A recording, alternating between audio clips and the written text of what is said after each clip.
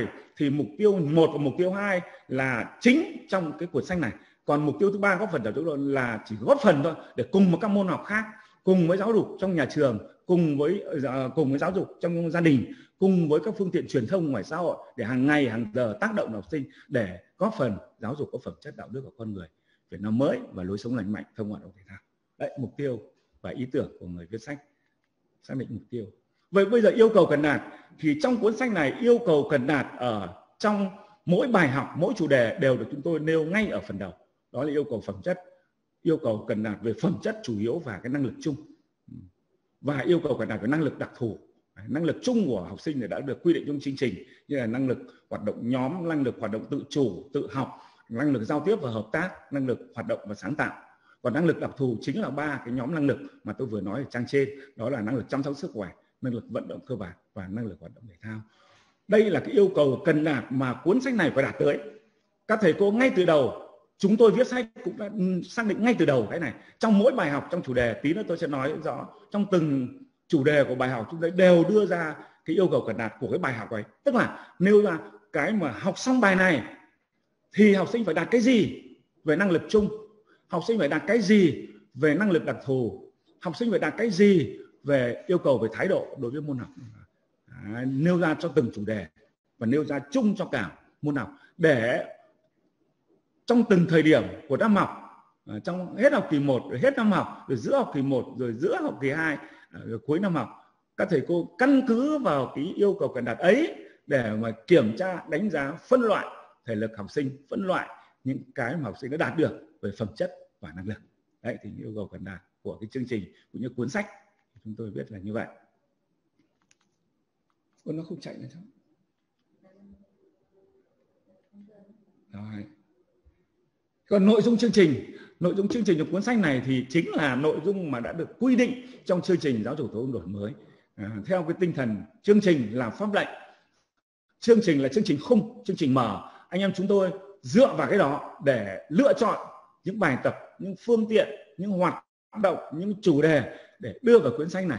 Và cuốn sách này, sách giáo khoa trước đây là pháp lệnh, bây giờ không phải là pháp lệnh. Sách giáo khoa lần này chỉ là những gợi ý để giúp các thầy cô căn cứ vào cái đó, để tự hoàn toàn mở toang cái cánh cửa sáng tạo của các thầy cô để chọn những chủ đề, đảo lộn các chủ đề, thay đổi các nội dung, thay đổi những trò chơi, thay đổi những bài tập để sao cho phù hợp nhất với học sinh trường mình, phù hợp nhất học sinh của địa phương mình. Và làm sao cho cuối cùng là làm cho học sinh nó thích nó, nó nghĩ đến giờ học thể dục nó phải thích nó phải đến. Đấy là sự thành công của chúng ta. Chúng tôi muốn như vậy và mong muốn là các thầy cô theo đuổi cái ý tưởng ấy để giúp học sinh. À, tất nhiên cái chương trình khung chương trình năm 2018 đấy là pháp lệnh rồi. Không ai có thể vượt qua được cái đó cho nên trong quá trình biên soạn sách chúng tôi thường xuyên và nhất là qua hai lần thẩm định hội đồng thẩm định quốc gia đều đặt những câu hỏi chúng tôi là cái cái sách này có phù hợp với chương trình không? Có đảm bảo được cái tính vừa sức của chương trình không? Và cái điều nghiêm kỵ là cái gì mà vượt quá chương trình thì hội đồng thẩm định nhất phát bỏ qua và quyển sách của chúng tôi đã đạt được cái yêu cầu khi thẩm định cái chương trình hai lần, hai vòng. Đó, thì vào các nội dung chương trình. Và cuốn sách này, viết cuốn sách này, trong hai năm vừa rồi chúng tôi luôn quán triệt bốn cái nguyên tắc. Bốn nguyên tắc mà chúng tôi thường xuyên được quán triệt. Một, lực sách này phải đáp ứng được yêu cầu chung đối với một sách giáo khoa mới, thì cái này có một cái thông tư thông tư 533 năm 2017 chắc các thầy cô cũng nhiều người biết cái này. Chúng tôi thì phải coi đó trong hai năm vừa rồi là cái một cái thông tư gối đầu giường của chúng tôi đây. Tức là ở đó, bộ giáo dục đào tạo được quy định có 13 cái tiêu chí để xác định một quyển sách giáo khoa theo chương trình đổi mới. Nó phải đáp ứng được 13 cái tiêu chí này. Và chúng tôi trong 2 năm đã bám sát vào 13 tiêu chí và cuối cùng chúng tôi thành công khi được Bộ Giáo dục Đào tạo phê duyệt để một cuốn sách nòng cốt cuốn sách cơ bản của nhà xuất bản giáo dục người ta để đưa vào thực tiễn. Đấy thì cái nguyên tắc đầu tiên mà chúng tôi quán triệt. Nguyên tắc thứ hai là cái phải cái phải phải phải phải phải quán triệt cái thông điệp là kết nối tri thức với cuộc sống. Đấy cái logo của cuốn sách của chúng tôi như các thầy cô nhìn trên màn hình bên tay phải của, của bên tay trái của cuốn sách cũng như bên tay phải của màn hình đó là logo kết nối tri thức với cuộc sống thế nào là kết nối tri thức với cuộc sống cái này các thầy cô đã biết biết rất rõ tôi chỉ xin nhắc lại thôi tức là à, cái ý tưởng của bộ sách này mà môn của học của chúng tôi là một trong chín môn theo cái bộ sách này tức là theo quan điểm là những gì học được trong giờ học thể dục của lớp 2 ở tiết học thì nó phải được vận dụng vào trong thực tiễn cuộc sống hàng ngày cuộc sống cuộc sống sinh hoạt học tập lao động xã hội vân vân xã hội vân vân nói nói chung và cuộc sống thể thao nói riêng là về kết thúc một cuộc sống học cái gì phải biết. Và học cuốn sách này học sinh phải thường xuyên gắn với cái phong trào thể thao phải biết tự hào về cái sự nghiệp thể thao của đất nước. Như sáng nay chương trình vừa, à, hôm qua và hôm nay chúng ta đều rất tự hào khi một đội futsal của Việt Nam mới chính thức lọt vào cái vòng ờ, World Cup của của futsal đây lần thứ hai Việt Nam đã thông qua đây là một cái rất tự hào của chúng ta. À, rồi cũng sáng hôm nay thì đội tuyển quốc gia Việt Nam do sự hướng dẫn của thầy Park đã có mặt tại UAE để sẵn sàng cho cái ba trận cuối cùng của vòng loại à, của cái vòng loại à, World Cup thế giới. Trong năm và sáng nay nếu các thầy cô nào đã xem cái đó rất rất sướng rất tự hào khi mà chúng ta sang nơi an toàn.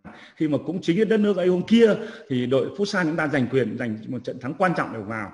Thế và hôm nay đội tuyển ờ, quốc gia Việt Nam chúng ta bóng đá 11 người đã có mặt để chuẩn bị trong đầu nửa đầu tháng 6 chúng ta sẽ chiến thắng ở ba trận để của chúng ta đường hoàng vào cái vòng loại thứ ba của World Cup. Đó, thì cái thông điệp kết nối trí thức dùng thì học cái thể thao, cái nguyên tắc này được chúng tôi quán triệt. Tức là do vậy mà chúng tôi viết cái gì ờ, đưa cái gì vào cuốn sách này là phải tông theo kết nối chi tiết một cuộc sống. Cụ thể chúng tôi đưa vào cái phần vận dụng của mỗi bài học, mỗi tiết học. Đó là nhắc nhở học sinh đưa ra những thông điệp cho học sinh để học buổi sáng hôm nay cái này, thì buổi chiều có thể ngoại khóa đến ngày ngày mai, ngày kia, tuần sau, tháng sau, vân vân. Phải gắn bó với cuộc sống thực tiễn và đáp ứng với yêu cầu thực tiễn của cuộc sống. Đấy là thông điệp, nguyên tắc thứ hai. Nguyên tắc thứ ba là kế thừa ưu điểm của các bộ sách giáo khoa trong nước và quốc tế. Sách giáo khoa trong quốc tế, rất nhiều sách giáo khoa dành cho học sinh. Có điều ở Việt Nam thì đây là lần đầu tiên có sách giáo khoa lúc đấy cô thư đã nói rồi. Đây là một cái thắng lợi, thành công của những người của của thầy trò chúng của, của của thầy trò chúng ta của những người làm công tác giáo dục thể chất và theo trường học. Rất tự hào. Sau nhiều năm gần nửa thế kỷ à, hơn nửa thế kỷ ờ, đưa giáo dục thể chất vào trường học nhưng học sinh không có sách. À, không có sách. Và bây giờ thì mới có sách. À, thì chúng tôi viết cuốn sách này và tuân thủ nguyên tắc là kế thừa những ưu điểm của sách giáo khoa trong nước và quốc tế. À, quốc tế rất nhiều nước có những cuốn sách giáo khoa dành cho học sinh rất nhiều điểm hay đã được chúng tôi kế thừa. Và cái nguyên tắc cuối cùng quan trọng nhất đấy là nguyên tắc viết cái gì ra đây là phải để cho các thầy cô giáo đổi mới được phương pháp và hình thức tổ chức giảng dạy. Đây là mấy cô yêu cầu chương trình giáo dục phổ thông đổi mới từ năm 2018 trong đó có môn học giáo dục thể chất. Tức là viết này không được gò bó. Đây là một điểm khác cơ bản so với sách hiện hành. Sách hiện hành là cứng nhắc, viết theo 70 tiết học. Từ tiết 1 cho đến tiết thứ 70 dạy cái gì là có trong sách rồi. Các thầy cô cứ vào đến giờ ấy, tuần ấy, tháng ấy, học kỳ ấy, mở ra mà dạy. Còn bây giờ không phải bây giờ chúng tôi chỉ viết ra những gợi ý, những định hướng.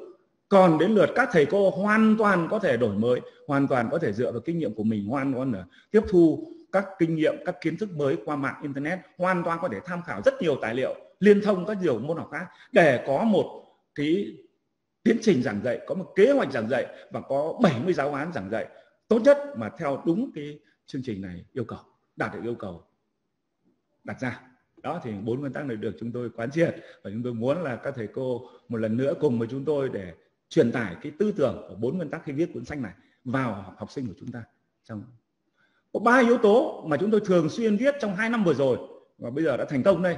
Tức là chúng tôi coi trọng ba cái. Cái vòng to nhất cái là cơ bản. Viết cái gì trong này phải cơ bản nhất. Thứ hai là phải thực tiễn bắt nguồn từ thực tiễn rồi phải quay trở lại phục vụ thực tiễn. Đấy là yêu cầu của kết nối đấy và phải sáng tạo trong cái nền của các kiến thức cơ bản mà chúng tôi viết ra trong sách theo chương trình. Gắn với các thầy cô là người gắn với gắn nó những cái cơ bản đấy lại phải gắn với thực tiễn của ninh bình là là có khác của hải phòng nó khác của lai châu nó khác và của quảng bình nó khác. À, đấy là chính là cái sáng tạo của thầy cô. Và ba cái yếu tố này được những người viết sách chúng tôi đã quán triệt và hy vọng chắc chắn rằng khi mà đến tay các thầy cô của tranh này các thầy cô sẽ quán triệt đầy đủ hơn ba yếu tố này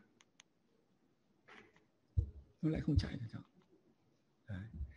bây giờ nói, đây chúng tôi là hệ thống lại ba cái như tôi vừa nói ở trên. Một là chúng tôi quán điệp đường lối của đảng và nhà nước về giáo dục thể chất. Thứ hai là tuân thủ hai cái thông tư quan trọng. Và thứ ba là tuân thủ thông điệp kết nối tri thức. À, lúc nãy cũng đã nói rồi. Tôi nói thêm một tí nữa về cái quan quan điểm đường lối của đảng về giáo dục thể chất. Ờ, và thể thao trường học. Nó là gì? Thì nhiều lắm. Nhiều kể các văn bản này nó loạn hết cả lên nhưng tôi muốn thống kê này thôi. Quan điểm cơ bản nhất đối với thể thao trường học của đảng ta từ năm 1941 đến nay, đã nói một rồi, đó là đưa và coi giáo dục thể chất không chỉ là một môn học, mà còn là một mặt giáo dục. Đấy là quan điểm. Cốt lõi. Trước đây chúng ta gọi là môn thể dục. Còn bây giờ gọi là môn giáo dục thể chất một số nước nó gọi là môn giáo dục sức khỏe. À, dù tên gọi sách như thế nào nhưng đều thể hiện quan điểm là coi giáo dục thể chất không chỉ là môn học. Tôi nói không chỉ là môn học nhé. Không giáo dục thể chất không chỉ là một môn học ừ, như là văn toán lý hóa sinh sử địa vân vân mà còn là một mặt giáo dục. Đấy là đức dục trí dục ừ, mỹ dục thể dục đức trí thể mỹ. Đấy, đức chế thể mỹ đấy quan điểm của đồ gò thì chúng tôi tôi tôi có quan điểm này không có gì xa lạ đối với các thầy cô. Tôi muốn hệ thống lại để chúng ta có một cái nhìn tổng thể thôi. Đấy là quan điểm nhất. Quan điểm thứ hai là gắn với 641 như tôi đã làm trên. Thứ ba, gắn với hội khỏe phù đồng như tôi nói trên. Và cái thứ tư là phải quan trọng đồng thời cả thể dục nội khóa và thể dục ngoại khóa. Thể dục nội khóa là 70 tiết học sắp tới các thầy cô phải dạy học sinh phải học bắt buộc ấy. còn hoạt động ngoại khóa là hoạt động tự do tự giác tích cực theo của học sinh. Mà nhờ các thầy cô nhờ các anh chị phụ trách đội nhờ bố mẹ và anh chị ở đuổi trong gia đình và nhờ giới truyền thông xã hội để sao cho học sinh hiểu được về cái vai trò của thể dục thể thao để hình thành cái lối sống lành mạnh thì tôi nói ở trên. Đó quan điểm. Đấy, quan điểm nhất thì ờ, chúng tôi như như vậy thôi. Còn cái thứ hai là tuân thủ nội dung chương trình tức là tuân thủ hai thông tư.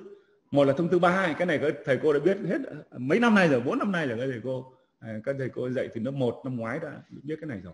Đấy là cái chương trình nó quy định là sự đổi mới của chương trình vừa rồi mà cuốn sách của, của chúng ta ở đây của chúng tôi ở đây là bám bám sát vào cái đó. Đó là đổi mới về cái phương pháp tiếp cận mục tiêu của giáo dục thể chất và thể thao trường học theo chương trình mới. Đó là nhằm phát triển phẩm chất mà năng lực đây là một điểm tăng cơ bản.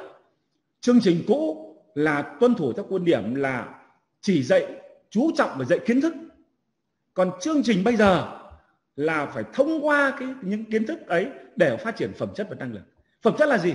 Phẩm chất đây, yêu nước, nhân ái, chăm chỉ, trung thực, trách nhiệm. Đây chính là phẩm chất của con người, xã hội chủ nghĩa Việt Nam mới. Tôi cho rằng cái này không có gì mới so với năm điều bác Hồ dạy. Thiếu niên nhi đồng, năm 1959 bác đã dạy trong đó yêu tổ quốc yêu đồng bào học tập tốt lao động tốt đoàn kết tốt kỷ luật tốt giữ gìn vệ sinh thật tốt ờ, thật thà dũng cảm khiêm tốn thật thà dũng cảm. Đó thì phẩm chất yêu nước này. Đấy thì thông qua cái môn học này để mà góp phần phát triển được phẩm chất. Thứ hai thông qua môn học này phải phải góp phần phát triển được ba cái năng lực chung năng lực tự chủ tự học năng lực giao tiếp hợp tác năng lực giải quyết vấn đề và sáng tạo. Đây là ba cái năng lực hết sức cơ bản chứ không phải là con người thụ động. À, con người bây giờ là phải có năng lực tự chủ tự học biến quá trình giáo dục thành còn tự giáo dục, tự rèn luyện, nhất là trong thể thao tự rèn luyện thôi. Là chính. Rồi phải mở qua cái giao tiếp và hợp tác thông qua các hoạt động nhóm. Và môn học này chúng ta có cái lợi thế trong hoạt động rồi giải quyết vấn đề sáng tạo. Đưa ra những vấn đề này để học sinh phát huy cái sáng tạo của mình trong việc lựa chọn con đường đi đến việc nâng cao sức khỏe. Đấy là một con đường chung. Và năng lực đặc thù để chăm sóc sức khỏe, vận động cơ bản họ thể thao đấy cái điều thứ hai thuộc về quan điểm. Điều thứ ba là tuân thủ thông điệp kết nối tri thức của cuộc sống và bám sát nội dung của uh, thể hiện mục tiêu của phong trào Olympic là nhanh hơn cao hơn mạnh hơn. Đây là một cái một cái một cái khẩu hiệu mà từ thời Olympic cổ đại uh, cho đến bây giờ uh, cái phong trào Olympic trên toàn thế giới cái cơ quan quản lý phong trào Olympic chính là IOC là Ủy ban Olympic quốc tế là cái nơi mà đang chuẩn bị tổ chức cái cái thế vận hội uh, Tokyo Nhật Bản. Đáng nhẽ là năm ngoái nhưng mà dịch bệnh bây giờ chuyển sang năm nay. Vừa rồi thì báo cáo thầy cô chắc các thầy cô đã biết có đến 80% dân nhân dân Nhật Bản thì không đồng ý với việc tổ chức Olympic vào tháng 7 này. À, mà đề nghị hủy luôn mặc dù đã đồng ý hoãn từ năm ngoái sang năm nay. Thế nhưng mà chính phủ Nhật Bản và Ủy ban Olympic quốc tế thì vẫn kiên quyết trên cơ sở đảm bảo được dịch bệnh ở Nhật Bản cũng như là ở các quốc gia để đảm bảo cái sức khỏe của các vận động viên đến nơi. Và chúng ta đã vui lòng và vui mừng báo cáo với thầy cô là cho đến thời điểm này chúng ta đã có 8 vận động viên lọt vào vòng sẽ chắc chắn có mặt tại thế vận Olympic Tokyo tháng 7 này. Đấy thế rồi tháng 11 tháng 10, à, tháng 12 năm nay chúng ta lại là chủ nhà của SEA Games lần thứ 31 đấy là những hoạt động thể thao lớn nhất mà ngay trong mùa đại dịch. Ngay cái việc là có hay có hay không nên tổ chức SEA Games tại Việt Nam hay không? Hay là bỏ đi? Giống như là cái cái ờ, đường đua uh, cúp C1 năm ngoái cuối cùng do dịch bệnh chúng ta bỏ đi. Thế bây giờ có nhiều ý kiến trong, trong dư luận nhân dân muốn là bỏ. Thế nhưng mà chính phủ vẫn đang chỉ đạo uh, có thể vẫn kết hợp được hai hai việc là tốt nhất vừa phát triển được kinh tế tức là vừa tổ chức được SEA Games trong đó và thứ hai vừa đảm bảo được dịch bệnh. Thì chúng ta hy vọng là cái mục tiêu ấy của phong trào Olympic nhanh hơn, cao hơn, mạnh hơn sẽ được phản ảnh vào trong cái môn học này, trong cái cuốn sách này và chắc chắn các thầy cô sẽ quán triệt được trong năm học tới. Đấy, báo cáo thầy cô hết trong cái ý thứ nhất là những quan điểm và ý tưởng. Bây giờ nói về những điểm mới. Câu hỏi thứ hai là sách có những điểm gì mới? À, thì thứ nhất là chúng tôi cấu trúc sách là mới. À, sách lần này chúng tôi như quyển sách như trên màn hình các thầy cô chúng tôi cấu trúc thành 3 phần sách này thì có hơn 80 trang thì 90, hơn 90 trang này. sách giáo khoa này sách giáo viên thì dày hơn nhưng mà nhưng đều có thiết kế thành 3 phần một là phần kiến thức chung phần thứ hai là phần vận động cơ bản. Phần thứ ba là phần thể thao tự chọn ba phần. Có năm chủ đề. À, năm chủ đề. Trong phần kiến thức chung thì không gọi là chủ đề mà chỉ gọi là nội dung cần giảng dạy thôi. À, thế còn trong phần vận động vợ cơ bản thì có ba chủ đề. Đội hình đội ngũ là một bài tập thể dục là hai tư thế rèn luyện tư thế và kỹ năng vận động cơ bản là ba. Trong thể thao tự chọn thì nếu có hai chủ đề là môn bóng rổ và môn bơi. À, nhưng ở mỗi trường thì các thầy cô đã biết rồi, mỗi trường sẽ chỉ chọn một chủ đề trong môn thể thao tự chọn thôi. Hoặc chọn bóng rổ, hoặc chọn bơi, hoặc có thể chọn môn khác. Nhưng trong 70 tiết học của lớp 2 trong năm học tới thì sẽ mỗi trường mà đây các thầy cô của bốn tỉnh mình này sẽ bắt buộc phải chọn một môn thể thao, môn nào phù hợp nhất với tỉnh mình mà được ủy ban dân tỉnh đồng ý, được sở giáo, giám đốc sở giáo đốc đồng ý và được học sinh và trường yêu thích nhất chọn những cái môn đó thì sẽ đưa vào trong này. Đấy tổng số phần kiến thức chung, hai nội dung là dạy cho học sinh vệ sinh cá nhân và đảm bảo an toàn trong tập luyện. Phần này không quy định giờ. Phần này là dạy lồng ghép, yêu cầu là dạy lồng ghép trong tất cả 70 tiết học. Đều phải nói đến cái đó. Đều nói thứ nhất. Thế còn vận động cơ bản, đây là phần chính của cuốn sách này. Gồm sẽ các thầy cô dạy ba chủ đề để trong 45 tiết. Đấy, đúng theo quy định của chương trình. Đội hình đội ngũ, các thầy cô phải dạy trong 14 tiết. Bài tập thể dục phải dạy trong 7 tiết rèn luyện tư thế và kỹ năng vận động cơ bản phải dạy trong 24 tiết đó, nó bắt buộc rồi. Ờ, không đi chỉnh được. Chúng tôi viết sách cũng phải theo cái đó bởi đây là quy định cứng của chương trình rồi Đấy. còn môn thể thao tự chọn thì mỗi môn là dạy trong 18 tiết môn nào cũng thế đều phải dạy trong 18 tiết đấy và cáo chúng là cấu trúc sách nó sẵn như thế này. Nó mở nó linh hoạt như thế này để giúp các thầy cô có thể lựa chọn. Ờ, đến quyền các thầy cô lựa chọn. Đây là các chủ đề chúng tôi viết ra theo chương trình quy định thế còn đến lượt phù hợp với đội với với tình hình thực tế của từng trường trong vòng tới các thầy cô hoàn toàn có thể thay đổi các cái thay đổi cái trật tự của cái cấu trúc của trong cái này. Nhưng về về tổng thời gian quy định cho mỗi chủ đề thì không được thay đổi. Thầy cô chỉ thay đổi những thời gian trong từng bài học của mỗi chủ đề mà thôi. Đấy đây là một điểm mới câu câu sách. Thế còn ờ, uh, câu sách hiện hành là sách hiện hành. Sách hiện hành chỉ có mỗi là viết theo từng tiết học. Viết theo như lớp 1 là 35 tiết một lớp 2 là 70 tiết để viết theo tiết học cứ viết. Nhưng bây giờ chúng tôi viết theo thế này. À, và các thầy cô sẽ là người hoàn toàn chủ động sáng tạo trong việc triển khai 70 tiết học một cách tốt nhất. Còn 7 uh, à, còn à, uh, 7 tiết là dành cho kiểm tra đánh giá xếp loại ở học kỳ 1 và học kỳ 2 theo quy định của chương trình.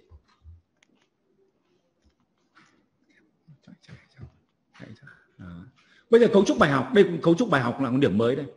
Cấu trúc bài học ở đây chúng tôi là có bốn hoạt động. Bài học nào có bốn bài học, tất cả trong đó có 20 bài học thôi mà, cả cả cuốn này 20 bài học. Thì bài học bốn hoạt động và thể hiện là bốn cái logo đấy như như như trên màn hình các thầy cô. Logo đầu tiên là logo hoạt động khởi động, hoạt động mở đầu.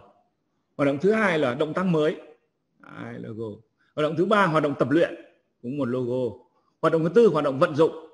Đấy, cái này đã được mà, mà nhóm tác giả của chúng tôi thống nhất với nhà xuất bản giáo dục đào tạo sử dụng cái logo như thế cố định trong tất cả 20 bài.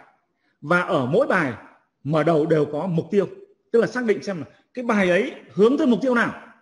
Đấy, ví dụ trên màn hình đây cô ví dụ bài này bài này tôi không biết là bài bao nhiêu nhưng là hướng tới mục tiêu là biết và thực hiện được động tác vươn thở và động tác tay. Đấy là mục tiêu. À, Ờ, ờ, ờ, mục tiêu thứ hai là học sinh phải nghiêm túc tích cực trong tập luyện vui vẻ hòa đồng với mọi người. Ấy là một yêu cầu. À, và là mục tiêu vừa là mục tiêu vừa là yêu cầu. À, cần đạt. Học các thầy căn cứ vào đây. Để học hết bài này ví dụ bài này dạy trong 6 tiết hoặc là 3 tiết hoặc 4 tiết hoặc hai tiết thì các thầy cô đánh giá lại xem nó đạt được mục tiêu hay chưa. Học sinh đã biết và thực hiện biết chưa? Biết biết về cái động tác này chưa? À, động tác tay và động tác vươn thở đấy thứ hai là học sinh có thực hiện được nó không? Thực hiện ở mức nào? Thực hiện uh, về cơ bản thực hiện được hay là đã thực hiện được hoặc là thực hiện tốt? Đấy là cách định lượng để mà nhận xét đánh giá phân loại sau mỗi bài học. Đấy. rồi thứ hai đánh giá cái mục tiêu thứ hai là đây là thái độ đây mục tiêu này vô cùng quan trọng. Tức là thông qua bài học này trong bài học trong lúc học bài học này học sinh phải nghiêm túc rồi phải tích cực. Đấy. dạy học tích cực là ở chỗ đó tích tích cực. Học sinh phải hào hứng với môn học cơ. Đúng không? Thì có tích cực tất cả những cái lượng vận động, những yêu cầu đề ra học sinh phải vượt qua chứ không phải là nó nó né tránh nó sợ. Đấy, và học sinh có tập luyện có vui vẻ không? Hòa đồng không? Có cười nói, dâm gian, nó vỗ tay liên tục trong giờ học không? Vân vân. Đấy là cái đánh giá. Rồi phải hòa đồng với mọi người chưa để tránh những cái những cái hoạt động khép kín trong vòng mỗi học sinh. Đấy, thì báo cáo thầy cô là cấu trúc bài học. Đây là một điểm rất mới.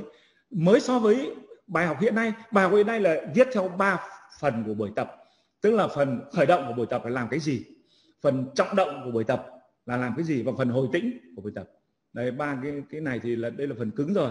Ờ, chúng tôi cũng như các thầy cô đều đã được học lý luận giáo dục thể chất từ thời liên xô cũ mà cho đến bây giờ nó vẫn có nguyên giá trị. Tức là tất cả một tiết học thể dục 35 tiết ấy đều phải cấu trúc thành ba phần. Một là phần khởi động hay là phần mở đầu buổi học. Nó chỉ khoảng độ năm sáu phút thôi. Phần thứ hai là phần chính tức là phần phần cơ bản của buổi tập. Nó bao gồm khoảng độ 28 đến 30 phút và phần thứ ba là phần kết thúc buổi tập. Và dành khoảng hai ba phút để mà xuống lớp, nhắc nhở, như yêu cầu học sinh về nhà phải làm cái gì, ôn lại những cái gì đã học được. Đấy, thì sách, hiện hành là như vậy. Còn sách sắp tới, mà sách chân tay các thầy cô đang có, bài nào cũng có bốn phần. Và căn cứ vào đó để các thầy cô, đó là phần mở đầu. Trong phần mở đầu có phần khởi động, có chơi trò chơi bổ trợ. Phần kiến thức mới chính là nội dung bài học. Học cái gì trong bài học ấy là được mô tả trong phần kiến thức mới này để làm cho học sinh mở đầu bài học lấy học sinh hiểu dần dần hiểu ra. À cái bài học này là học động tác này động tác này ví dụ bài học này là động tác vươn thở động tác tay. À, thế rồi bắt đầu là cho tôi tìm hiểu về thế nào động tác thở thế nào động tác tay. Đúng là thở có mấy động tác động tác tay có mấy động tác. Đấy giới thiệu cho học sinh thông qua các phương pháp trực quan Ừ, tốt nhất những trường mà có video trình chiếu lên cái động tác ấy rồi vẽ tranh ảnh cái động tác ấy rồi lên giáo viên làm mẫu cái động tác ấy để mỗi bài học học sinh biết à hiểu hiểu hiểu đúng về động tác. Dạ, các thứ tự vận động trong cái động tác đó để mà đưa vào vận động. Đấy thì nội dung bài học rồi hình, hình thành cái cảm giác ban đầu cho học sinh với cái này. Phần luyện tập tức là phần tập luyện này rồi chơi một trò chơi vận động này rồi tập các cái bài tập phát triển thể lực để củng cố cái nội dung bài học và phát triển thể lực. Đây là phần chính trong mỗi bài học. Ừ. Phần này là phần mà giáo viên đề ra các yêu cầu, đề ra các bài tập, nêu ra các trò chơi và tổ chức cho học sinh thực hiện các bài tập. Tổ chức cho học sinh thực hiện là cái trò chơi để đạt được cái mục tiêu của môn học. Đó là học sinh phát triển được sức nhanh, sức mạnh, sức bền, khéo léo, bền bỉ, dẻo dai và khả năng phối hợp vận động. Đây là phần chính. Phần thứ tư trong mỗi bài học được chúng tôi viết trong sách này và đề nghị các thầy cô quán triệt rất trọng tâm này rất quát phải cấu trúc cái phần này. Và đây là yêu cầu đổi mới. Cái phần này phần vô cùng quan trọng. Đây là phần củng cố và khắc sâu kiến thức đã học thông qua các bài tập và tình huống. Thực tiễn đấy. ví dụ các, các thầy cô xem cái logo cuối cùng. Logo cuối cùng đấy có ba cái hình ảnh. Một là chúng tôi đưa ra hai hình ảnh a và b xong ờ, các thầy cô sẽ hỏi học sinh hình nào dưới đây thể hiện đúng nhịp ba của động tác vươn thở? Đấy, lúc này học sinh ừ, ờ, không được nhìn vào đâu cả chỉ có nhìn vào hai hình thôi. À, để xem có đúng không? Và đáp án sẽ có trong quyển sách giáo viên. Lúc ấy trong sách giáo khoa thì chúng ta không được đáp án nhưng trong sách giáo viên thì có. Và như vậy các thầy cô sẽ kiểm tra ở phần cuối của mỗi bài tập mỗi buổi tập các thầy cô kiểm tra cái đó kiểm tra cái đó. À, xem có đúng, có đúng không? Em nào trả lời đáp án A là đúng hay là B là đúng. Thế rồi một cái ở trong phần vận dụng nữa trong bài này là hình nào dưới đây thể hiện đúng nhịp một của động tác tay? Đúng như một ngón tay thì học sinh hỏi lúc nào học sinh chỉ nhìn hình thôi. Thì hình thôi không không không nhìn vào sách không nhìn bạn nào làm cũng không nhìn thầy giáo làm. À, và nếu học sinh nào trả lời đúng hình A hoặc hình B thì như vậy là yêu cầu của cái bài học đó. Đấy phần vận dụng nó quan trọng ở chỗ đó. Thế và cái ờ, thông điệp ờ, cái cái thông tin thứ ba trong cái phần này đó là em hãy tập các động tác thể dục trong giờ ra chơi để tăng cường sức khỏe đấy em hãy tập các động tác thể dục trong giờ ra chơi để tăng cường sức khỏe. Đây là một cái thông điệp mà vận dụng kết nối tri thức của cuộc sống đây để bảo cho học sinh rằng là đấy hôm nay chúng ta học được động tác này động tác thể dục đấy. Thì chiều nay trong giờ ra chơi các em tự tập hoặc ngày mai ngày kia tuần sau tháng sau các em cứ thế mà các em tập. Đấy thì báo cáo thầy cô là cấu trúc bài học. Lần này nó minh bạch nó tường minh nó rõ ràng như vậy để giúp các thầy cô có thể lựa chọn. Trong phần mở đầu thì lựa chọn trò chơi nào trong phần luyện tập thì trò chơi nào à, trong phần củng cố và khắc sâu thì phải làm những việc gì đối với giáo viên. Qua đó mới, mỗi bài học mới có phần thực hiện những mục tiêu mà trong mỗi bài học chúng tôi đều ra đều ra đều đưa ra ngay từ đầu trang của cái học đó. Đấy, cấu trúc là một điểm mới rất mới đấy. Để nghị các thầy cô quán triệt cái này để tiến hành giảng dạy. Bây giờ một điểm mới nữa là đưa giáo dục sức khỏe vào sách.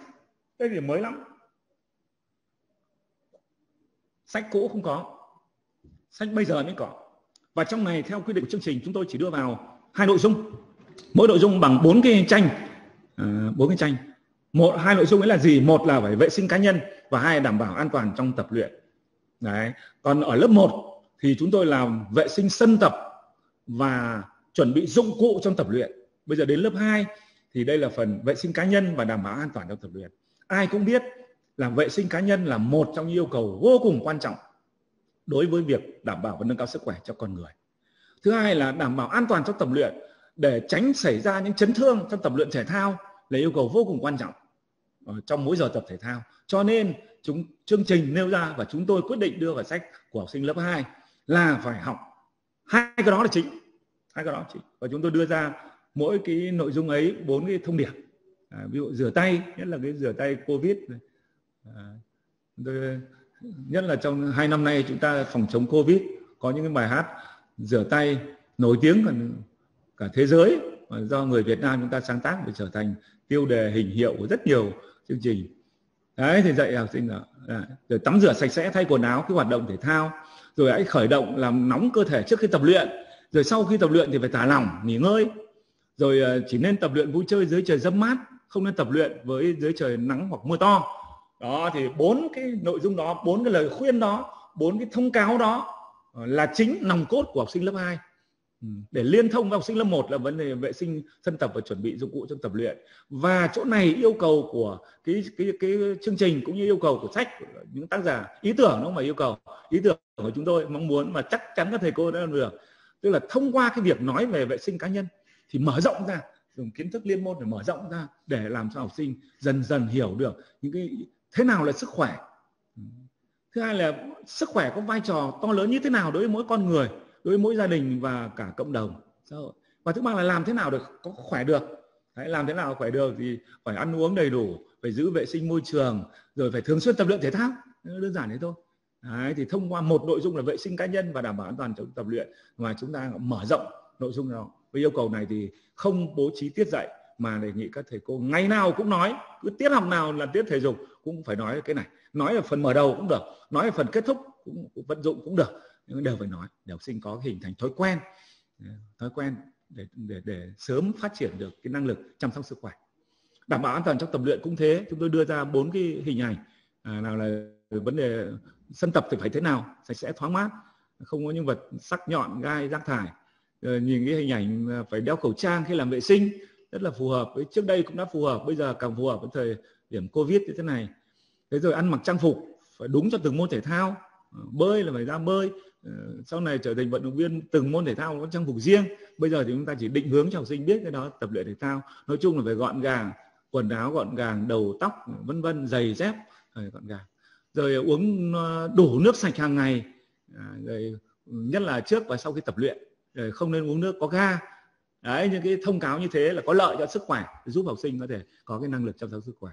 Rồi phải dặn dò học sinh phải ngủ đủ giấc, hạn chế chơi trò chơi điện tử, thường xuyên tập thể dục và không tập luyện khi ăn quá no hoặc quá đói, rồi nên tập thể dục vào sớm hoặc chiều muộn. Đấy là những cái thông cáo, tất cả bốn cái đó là làm cho đảm bảo an toàn trong tập luyện, tránh ra chấn thương mà lại có lợi trong việc phát triển sức khỏe. Thì đây là những nội dung mà lần đầu tiên đưa vào sách, cho nên đây gọi là những điểm mới của sách điểm mới thứ hai là sách lần này chúng tôi viết ra theo yêu cầu là lồng ghép tích hợp nội dung liên môn. Tức là không chỉ dạy thể dục mà phải thông qua những trò chơi nhất là những trò chơi. Đấy trong màn hình các thầy cô đang nhìn có đưa ra ba cái ở, ở ở ba bài khác nhau đấy đều có ba cái loại trò chơi. Một cái trò chơi ờ, tìm tên theo chủ đề một cái là đèn xanh đèn đỏ một cái là ếch nhảy thì không, giáo viên của chúng ta không những không không chỉ dạy trò chơi này, đơn thuần là ra ra chơi chơi này đi, mà thông qua trò chơi, nói ví dụ trò chơi anh nhảy thì nói về hình thành, góp phần hình thành những cái thói quen bảo vệ môi trường, giữ gìn, bảo vệ các cái động vật có lợi, vân vân, thế nào đó. Tích hợp với nội dung của các môn. Ừ, trải nghiệm xã hội tự nhiên và xã hội. Hơn hoặc uh, trò chơi đèn xanh đèn đỏ. Đèn xanh đèn đỏ liên quan đến vấn đề trật tự giao thông an toàn giao thông. Thì thông qua cái này hướng dẫn học sinh chỉ nói mấy chục giây cũng được hoặc vài câu cũng được. Nhưng mà thông qua ngày nào cũng nói đến cái này thì học sinh thì góp phần làm cho học sinh có được cái trình khi là đèn xanh thì mới được đi đèn đỏ phải dừng lại. À, để đảm bảo an toàn giao thông. Tôi nói ví dụ thế đây là yêu cầu lồng ghép liên môn đấy. thì cái đấy là điểm mới nữa tích hợp một điểm mới nữa là đưa thể thao tự chọn vào sách. Đây cũng làm điểm mới tinh. Sách cũ không có cái này. Bây giờ sách mới là ngay từ học sinh lớp 1 cơ. Năm ngoái lớp 1 bây giờ lớp 2 đã à, đã được học về một môn thể thao. Tất nhiên không phải là học cái môn thể thao ấy, mà là được được được tìm hiểu về cái môn thể thao ấy, rồi được chơi những trò chơi nó gần gũi với môn thể thao ấy. Ví dụ môn bóng rổ và môn bơi. Trong này chúng tôi đưa ra ví dụ thôi. Thế còn thì đến ờ, vào trong trường của các thầy cô tùy. Ờ, đây là thuộc quyền của ủy ban dân các tỉnh, thành phố, tùy theo hiệu trưởng các trường và tùy theo ý thích của các thầy cô để chọn môn nào phù hợp nhất. Trường nào có thể chọn bơi bơi có thể chọn bóng rổ cũng có thể chọn môn khác nếu thấy phù hợp. À, còn trong này chúng tôi đưa ra những cái yêu cầu trong một ờ, một một một. Và thế vì sao chúng tôi lại chọn bóng rổ? Thì vì là bóng rổ chúng tôi thấy hoàn toàn là có thể rất dễ phổ cập trong trường phổ thông. Ờ, điều kiện cơ sở sân bãi ờ, chỗ tập không có gì cầu kỳ lắm. Nó chỉ có một quả bóng. Ờ, với một cái bảng rổ gắn vào nào trên một khoảng đất rộng ờ, chục mét hơn chục mét là có thể chơi được rồi. Thế chúng tôi chọn cái này mà lại có ý nghĩa. Một này đầu tư thì ít ờ, dễ đầu tư mà lại có ý nghĩa phát triển các, các tố chất thể lực nhất là khả năng phối hợp vận động. À, thế còn vì sao lại chọn môn bơi? Vì bơi thì các thầy cô đã biết là trong chính phủ trong hai chục năm nay đã có chương trình là ừ, phổ cập bơi lội phòng chống tai nạn đuối nước cho học sinh. Và một điều không được vui lắm buồn là đằng khác đó là năm nào cũng thế cứ vào dịp nhất là vào dịp hè chúng ta đều có những cái chết thương tâm của học sinh nhất là học sinh phổ thông học sinh nhỏ. Ờ, chết đuối ờ, do không biết bơi và do không có kỹ năng phòng chống đuối nước. Đấy, cho nên chúng tôi chọn môn bơi. Chúng tôi biết là chọn môn bơi đối với nhiều trường là không có điều kiện nhưng không phải là không có điều kiện mà chúng ta bỏ một cái môn rất hay trong việc rèn luyện ờ, để khắc phục những cái những cái những cái tai nạn cho sinh mà phải có đầu tư. Mà bây giờ trong những năm ờ, gần đây ờ, chính quyền các địa phương cũng như chính phủ chỉ đạo giáo diết và đầu tư thể thao trường học thì chắc chắn sẽ có những cái giải pháp để nếu như các thầy cô chọn môn bơi, bởi vì môn này rất hoàn toàn phù hợp với học sinh. Đấy là một điểm mới cuối cùng là chú trọng đến công tác minh họa. Công tác minh họa thì chúng tôi rất cảm ơn các đội ngũ họa sĩ của nhà xuất bản giáo dục Việt Nam. Chúng tôi, nhóm tác giả ờ, rất mừng là được ừ, các họa sĩ cừ khôi nhất đấy có là gọi là số 1, số 2 của nhà xuất bản tham gia vào bộ này. Nên nhà xuất bản làm mấy bộ sách nhưng mà cái bộ sách này được được được nhà xuất bản huy động dành cho chúng tôi bởi đây là bộ sách nền. Rất nhiều họa sĩ cho nên chúng tôi không phải là mẹ hát con khen hay mà thực tế các thầy cô đã thấy bản thân chúng tôi cho nên bây giờ mỗi lần cầm cuốn sách trên tay hình ảnh này đây rất rất rất, rất sướng rất tự hào và nó sách đẹp lắm. Trong này đầy đủ đảm bảo kênh hình kênh chữ màu sắc mọi thứ đều rất rõ ràng. À, logo thì sinh động, hấp dẫn, phù hợp. Các hình ảnh đều rất là gần gũi với đời thường, gợi nhớ và khoa học, logic. Đấy, thì công tác minh họa được đặc biệt rồi. Cái này thì công lao của nhà xuất bản đó chứ nhóm tác giả chúng tôi chỉ đưa ra ý tưởng là nhà xuất bản. Và cảm ơn các họa sĩ có một quyển sách hoàn chỉnh về màu sắc đẹp. Khổ sách cũng to hơn, dễ đọc hơn. Dạ rồi ít ừ, chữ nhiều hình. Phù hợp lớp 1 năm ngoái cũng thế bây giờ lớp 2 cũng thế. Về khả năng đọc thì chưa được nhiều nên ít nhưng trong quyển sách ờ, giáo khoa à, giáo viên thì lại ngược lại. Không có hình nào cả chỉ có chữ thôi. À, chữ là về giáo viên đây là quyển sách dùng cho giáo viên. Toàn chữ để minh họa cho quyển sách giáo khoa và dùng làm phương tiện để dạy theo cuốn sách giáo khoa. Đấy để mới bây giờ nói về đổi mới phương pháp dạy học đây là một cái vừa là một nguyên tắc và vừa là một yêu cầu lớn nhất trong cuốn sách lần này đối với học sinh thì cuốn sách này của chúng tôi chúng tôi cho rằng đã phát huy được tối đa cái vai trò tự giác tích cực của học sinh. Rồi tăng tính tự chủ của học sinh nhờ lần đầu tiên có sách. Trước đây học sinh lớp 1, lớp 2 là không có sách. Không, không có sách. Có gì không nhỉ? Có, có gì đọc ấy thì nhắc thầy mới nhá. Những cái này mà không có câu hỏi gì mà. Nhưng mà những cái gì đây thì chắc thầy cả. Ừ. Đấy, cả đào à, học sinh có thể thông qua à, trước đây không có sách bây giờ có sách bây giờ có sách là rất lợi. À, từ lớp 1 năm ngoái thế rồi lớp 2 tôi muốn nhắc lại cái điều đó. Tức là bây giờ ví dụ khoảng tháng 8 tháng 9 này là trong cặp của học sinh lớp 2 cho cho năm học tới đã có cuốn sách này rồi có sách này rồi. Như vậy học sinh sẽ mở ra mới biết à như vậy là sang năm mình học cái môn giáo dục thể chất là học cái này đây học bài này bài này hình ảnh đẹp này học môn này môn kia động tác này động tác kia. Thế là ngay từ trong dịp hè đã chuẩn bị cho năm học mới đã tạo ra một cái hứng thú hứng thú chứ trước đây không biết được. Trước đây vì không có sách chỉ có mỗi ông giáo viên có mỗi cuốn đó thế còn bây giờ là thì, thì chả biết là sang, sang năm tới mình học cái này là học cái gì. Ai bây giờ học à, cái này. Thế là hình thành một cái hứng thú thói quen tìm hiểu và tạo ra cái thế chủ động cho học sinh lớp 2 trong lòng tới. Biết là mình học theo bộ sách này kết nối tri thức chính là học cái này đây chính là học động tác này đây chính là học bài tập này đây chính là chơi trò chơi vận động này vân vân.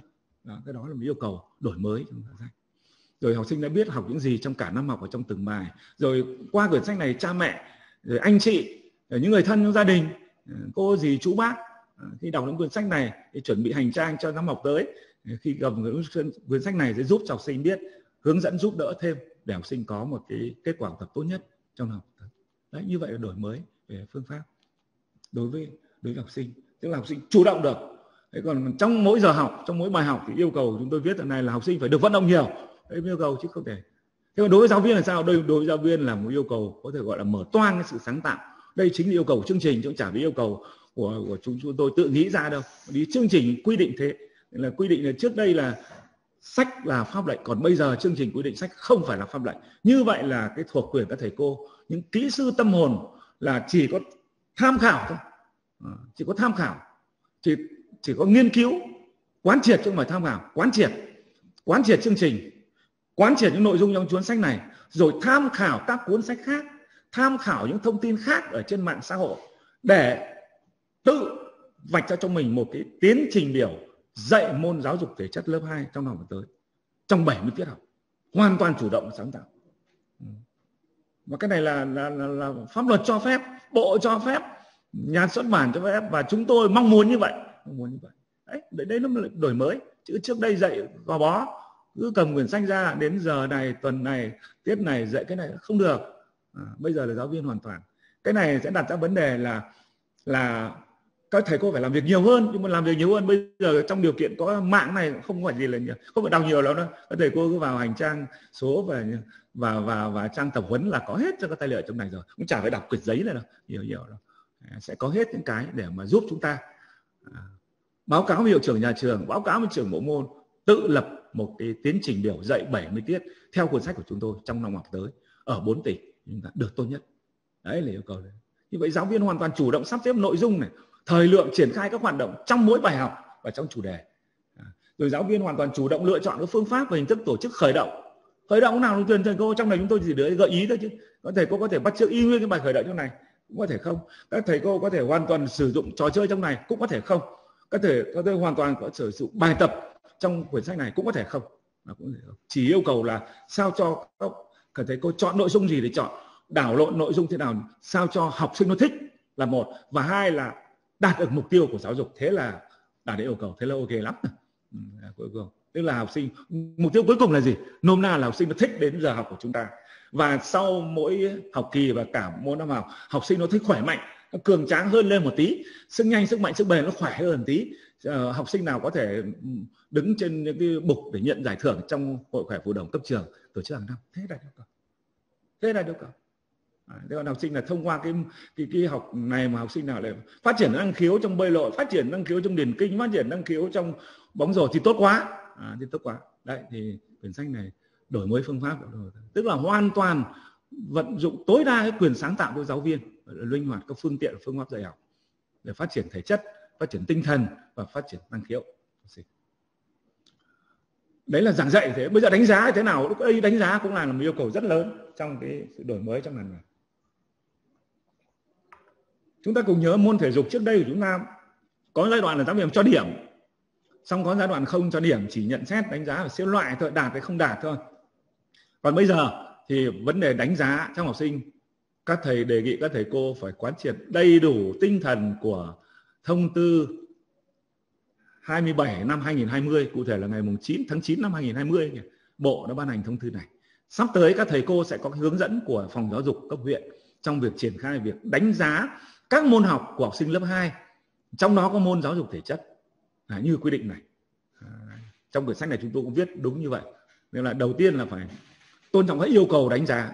Yêu cầu đánh giá là gì? Yêu cầu đánh giá là căn cứ vào mục tiêu yêu cầu cần đạt của từng bài của cả môn học, của cả năm học mà đánh giá và siêu loại học sinh. Là một yêu cầu. Rồi đánh giá, yêu cầu của đánh giá là đánh giá sự tiến bộ vượt qua chính mình của học sinh. Bài học hôm nay, kết quả thực hiện động tác ngày hôm nay, chơi trò chơi ngày hôm nay giỏi khá hơn hôm qua, khá hơn tuần trước. Thế là tốt rồi. Thế là tốt rồi. Đó là sự tăng chiến, sự tăng chiến. Vượt qua chính mình mà trong thể thao nó có câu ấy, vượt qua chính mình. Lấy mình chính là mốc để mỗi ngày đều vượt qua một tí để nhanh hơn cao hơn mạnh hơn chính là chỗ này. Chỗ này. Đấy, thưa cầu trình đấy là tôn trọng yêu cầu thứ nhất. Yêu cầu thứ hai là phải kết hợp ba lực lượng trong đánh giá. Trước đây chúng ta chỉ mỗi một phía thôi. Giáo viên đánh giá học sinh hết. Bây giờ không được. Giáo viên là người cuối cùng nêu ra những đánh giá. Còn phải học sinh tự đánh giá cho mình là đầu tiên. Sau mỗi động tác sau mỗi bài tập sau mỗi tiết học học sinh phải tự bản nhận xét về mình đánh giá như thế nào? Cái này giáo viên tổ chức cho học sinh hỏi. Em thấy động tác vừa rồi, lần tập vừa rồi thế nào? Đã đạt yêu cầu chưa? Tay đã thẳng chưa?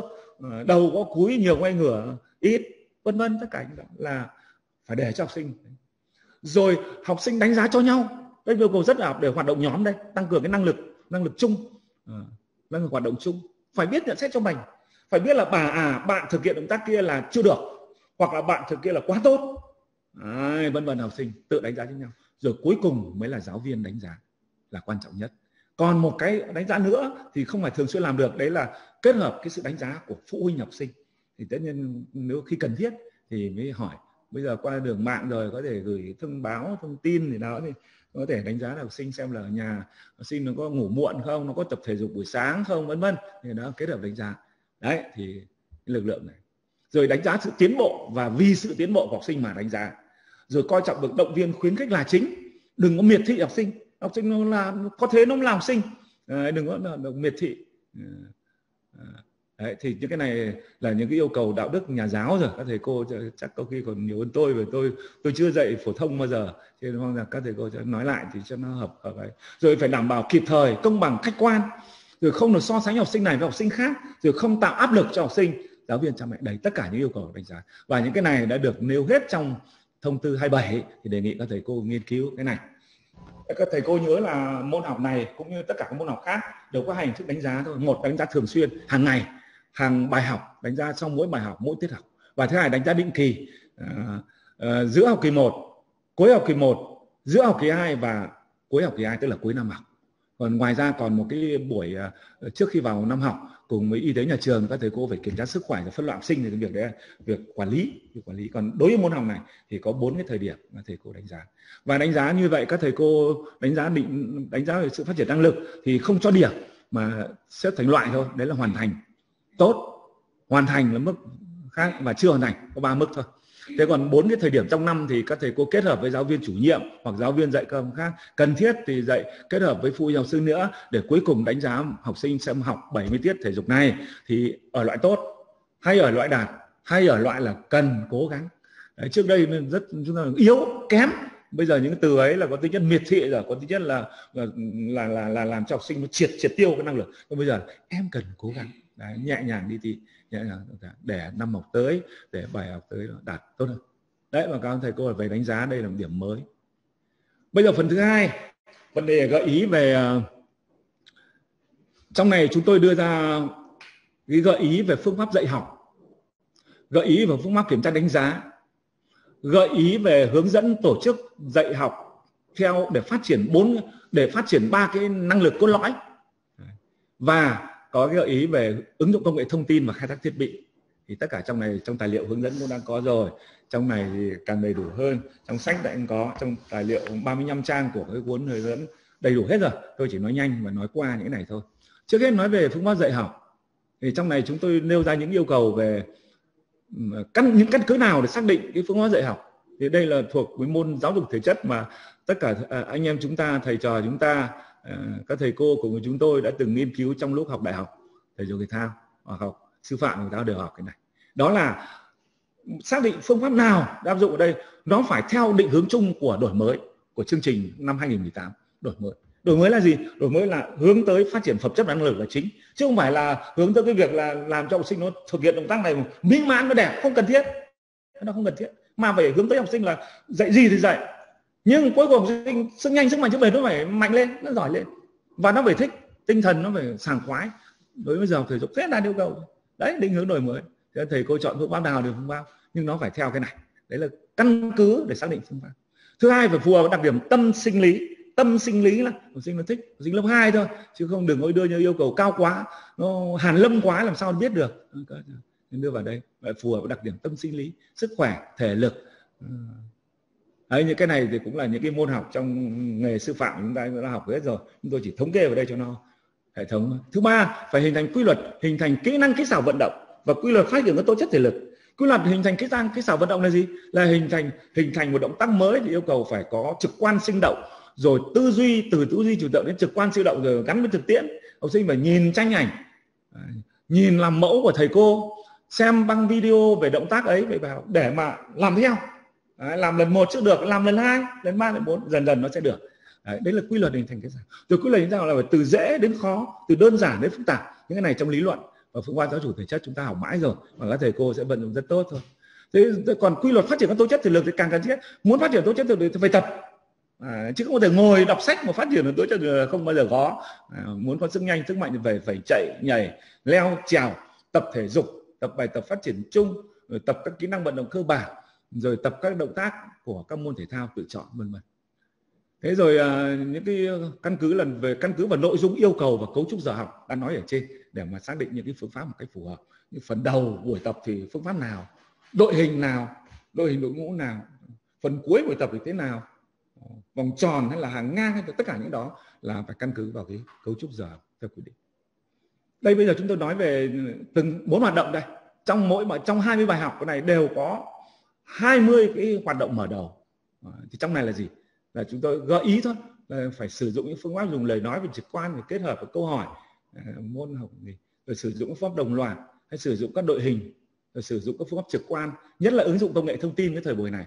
Ờ, tất nên có nhiều trường chúng ta, nhiều trường chúng tôi được xuống dạy thử mới đi quan sát quanh lắm. Sử dụng cả đội hình sử dụng cái màn hình lớn, tập đến đây không gì là tốt hơn là tạo ra kết hợp tập thể dục với nhạc hình ảnh vân vân tất cả những phương pháp này làm cho mở đầu mỗi học rất là hứng thú học sinh hứng thú muốn muốn muốn muốn bắt vào tập luyện muốn đấy mới là sự thành công của những người làm nghề sư phạm. Đấy hoạt động mở đầu.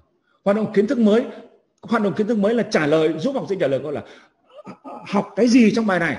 Đấy, bao giờ phải vang lên cái gọi lên chứ. Thứ hai là bài động tác ấy là gì? Nó như thế nào? Đấy, kết hợp với hình ảnh và em thử làm thử xem có được không? Làm thử lần một đấy thế là ba cái cứ bao ở trong hình thành kiến thức mới đạt yêu cầu và muốn vậy học sinh phải sử dụng tổng hợp các à, giáo viên phải sử dụng tổng hợp các phương pháp lời nói trực quan dùng hình ảnh giới thiệu hình ảnh vân vân sau đó cho tập thử vân vân. Trong hoạt đây hoạt động tập luyện cái logo thứ ba ở đầu tập luyện là quan trọng nhất. Ở đây sẽ sử dụng phương pháp tập luyện có định mức bao nhiêu lần bao nhiêu nhịp tập bao nhiêu phút nghỉ bao nhiêu phút vân vân là nó nằm trong này. Rồi lặp lại thay đổi lượng vận động. Và đặc biệt là sử dụng trò chơi sử dụng các hình thức tập luyện rất đa dạng đi. Lúc thì tập theo cá nhân tự tập, lúc thì cặp đôi, lúc thì tổ, lúc thì cả lớp cùng tập. Thì cái này là tùy các thầy cô, tùy từng buổi tập, tùy từng nội dung yêu cầu của cái bài ấy mà lựa chọn các hoạt động tập luyện cho phù hợp. Nhưng phải đảm bảo được vai trò của mỗi cá nhân học sinh rồi cặp đôi, tổ, nhóm và cả lớp. Rồi tăng cường sử dụng trò chơi và thi đấu. Học sinh lớp 2 tiếp tục như học sinh lớp 1 rất thích trò chơi. Đấy là một cái đặc điểm tâm sinh lý rồi cho nên trong quyển sách này chúng tôi có 20 bài, thì chúng tôi có 40 trò chơi. Hai bài là 40 trò chơi. Mỗi trò, mỗi bài đều có hai trò chơi, hai loại trò chơi. Một trò chơi dùng ở trong phần khởi động, một trò chơi dùng trong phần tập luyện để phát triển thể lực theo độ nặng nhẹ khác nhau. Như vậy với bốn trò chơi này, trong sách giáo viên thì chúng tôi viết đầy đủ các cách thức triển khai cái trò chơi như thế nào, luật thế nào, mục tiêu của trò chơi là gì, vân vân. Thì các thầy cô căn cứ vào cái đó uh, tham khảo cái đó để chọn một cái trò chơi. Có thể sử dụng nguyên trò chơi của chúng tôi cũng có thể khác. À, hoàn toàn có thể sáng tạo hơn. Đấy thì hoạt động tập luyện. Phương pháp trò chơi. Bởi vì nói đến thể thao là nói đến thi đấu cho nên là phương pháp thi đấu là phương pháp ganh đua à, thi đua với nhau. Nhất là những cái động tác chạy tiếp sức lò cò tiếp sức nắm bóng tiếp sức vân vân cái, cái, cái trò chơi cái tiếp sức mà chưa thành đội là những cái sử dụng phương pháp ấy là tính từ phương pháp thi đấu đấy. Để, để mà rèn luyện phát triển thể lực rồi sắp xếp nội dung tập luyện phù hợp. À, các uh, phương pháp rèn luyện sức nhanh khéo léo thì phải xếp vào phần đầu. Những cái ờ, bài tập mà để phát triển sức mạnh tức là bài tập hơi nặng tí thì ờ, phát triển sức bền và sức mạnh thì xếp vào cuối. Cái này thuộc kiến thức về lý luận rồi. Thì tôi chỉ nhắc lại cho nó hệ thống thôi nhưng thầy cô làm được. Rồi khối lượng tập luyện thì phải từ nhỏ đến lớn các bộ phận cơ thể được thay nhau hoạt động không tập nhiều. Các hình thức tập luyện luôn thay đổi để duy trì không khí hào hứng cho tập luyện. Rồi thời gian tập luyện và nghỉ ngơi cần xen kẽ một cách hợp lý. À, tổ này tập, hoặc bạn này tập thì bạn kia nhìn, nhận xét, rồi đảo đi, ngược lại, vân vân. Thì tất cả những đó là thủ thuật sư phạm, thủ phạm thầy cô. Phần hồi tĩnh và kết thúc giữa học thì sử dụng rất nhiều hình thức. Như đi vòng tròn rồi vừa đi vừa hát, rồi đi lại tự do, vừa đi vừa thở, vừa dâu theo nhịp chậm, vân vân. Bởi vì mục đích của phần hồi tĩnh và kết thúc là dừng hoạt động, chuyển dần hoạt động, chuyển cơ thể từ trạng thái đang hoạt động các hoạt động xuống dần dần dần dần dần, dần trở về bình thường. Để học sinh về lớp học môn khác. Đấy ý nghĩa của phần hồi thực cơ đây là điều quát bắt buộc trong lý luận đã nói rồi. Nên các thầy cô sẽ phương pháp ở đây là gì? Là phải thoải mái vui vẻ. Tốt nhất là cười nói dâm gian vỗ tay vỗ chân lúc này không cần phải đi đứng khuôn phép gì hết cả. Rất vui vẻ. Đấy. Đấy là yêu cầu của một cái phần kết thúc của giờ học.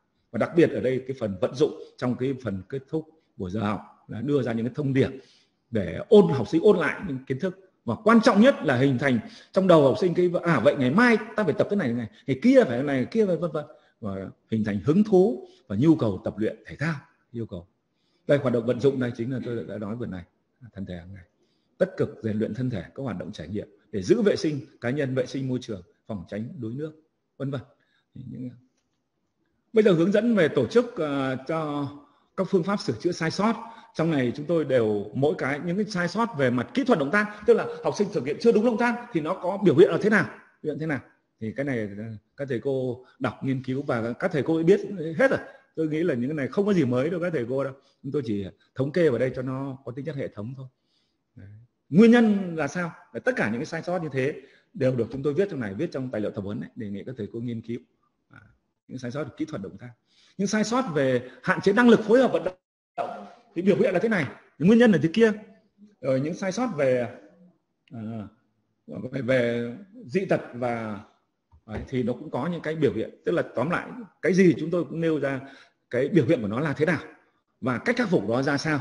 Mà tôi tin chắc các thầy cô đầy những kinh nghiệm để có thể làm cho học sinh mình học tốt nhất từng bài học từng chủ đề và cả 70 tiết học trong cái này bây giờ tôi nói về dạy học theo nội dung trong từng chủ đề thì ở trong này quan điểm chung của chúng tôi ngay từ đầu cùng với các, các, các nhóm tác giả của chúng tôi 11 người đều xác định chung là đây là hoàn toàn việc chỉ có hai hai hình thức thôi. Một là dạy trọn vẹn một một một một chủ đề hoặc một nội dung trong một tiết học trong một trong một học kỳ trong một tiết học. Và người thứ hai là ngược lại thôi. Và chúng tôi tạm ra đưa ra bốn phương án.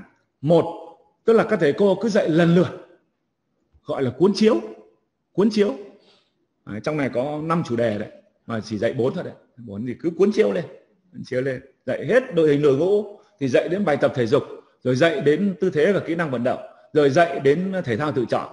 À, đấy là đấy là đấy là phương án một. Và đây cũng có phương án nào có cái tốt cũng có cái chưa được tốt lắm. Thì đề nghị các thầy cô hoàn toàn lựa chọn.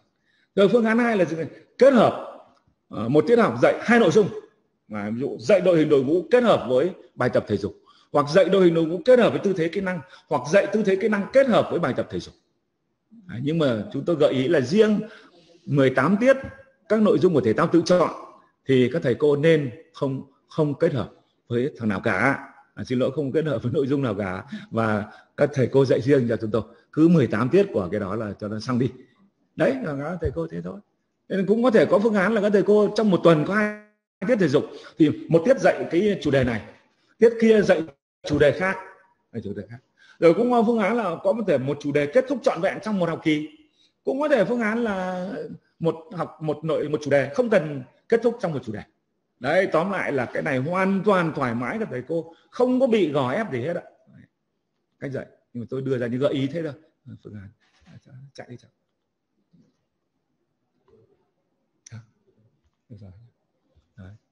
bây giờ đến phần kiểm tra đánh giá, lúc ấy trên kia đã nói rồi, bây giờ nhắc lại tí thôi. Đây ờ, căn cứ nguyên tắc đánh giá thì như thế, như trên đã nói rồi đấy. Cái là ba chủ thể, rồi ờ, không được cho điểm, mà chỉ xếp loại xếp đoạn thôi. Rồi phải ờ, đánh giá thường xuyên là đánh giá trong từng buổi học, trong từng tiết học, trong từng chủ đề. Còn đánh giá định kỳ là một năm có bốn lần. Các thầy cô nhớ. Và đề nghị các thầy cô tham khảo thêm cái thông tư 27 và đặc biệt là sắp tới sẽ có cái hướng dẫn phòng giáo dục đấy. Thì căn cứ đó làm tốt cái phần kiểm tra đánh giá. Chạy đi sao? Rồi. Hãy đánh giá thường xuyên. Đánh giá định kỳ. Rồi đánh giá định tính.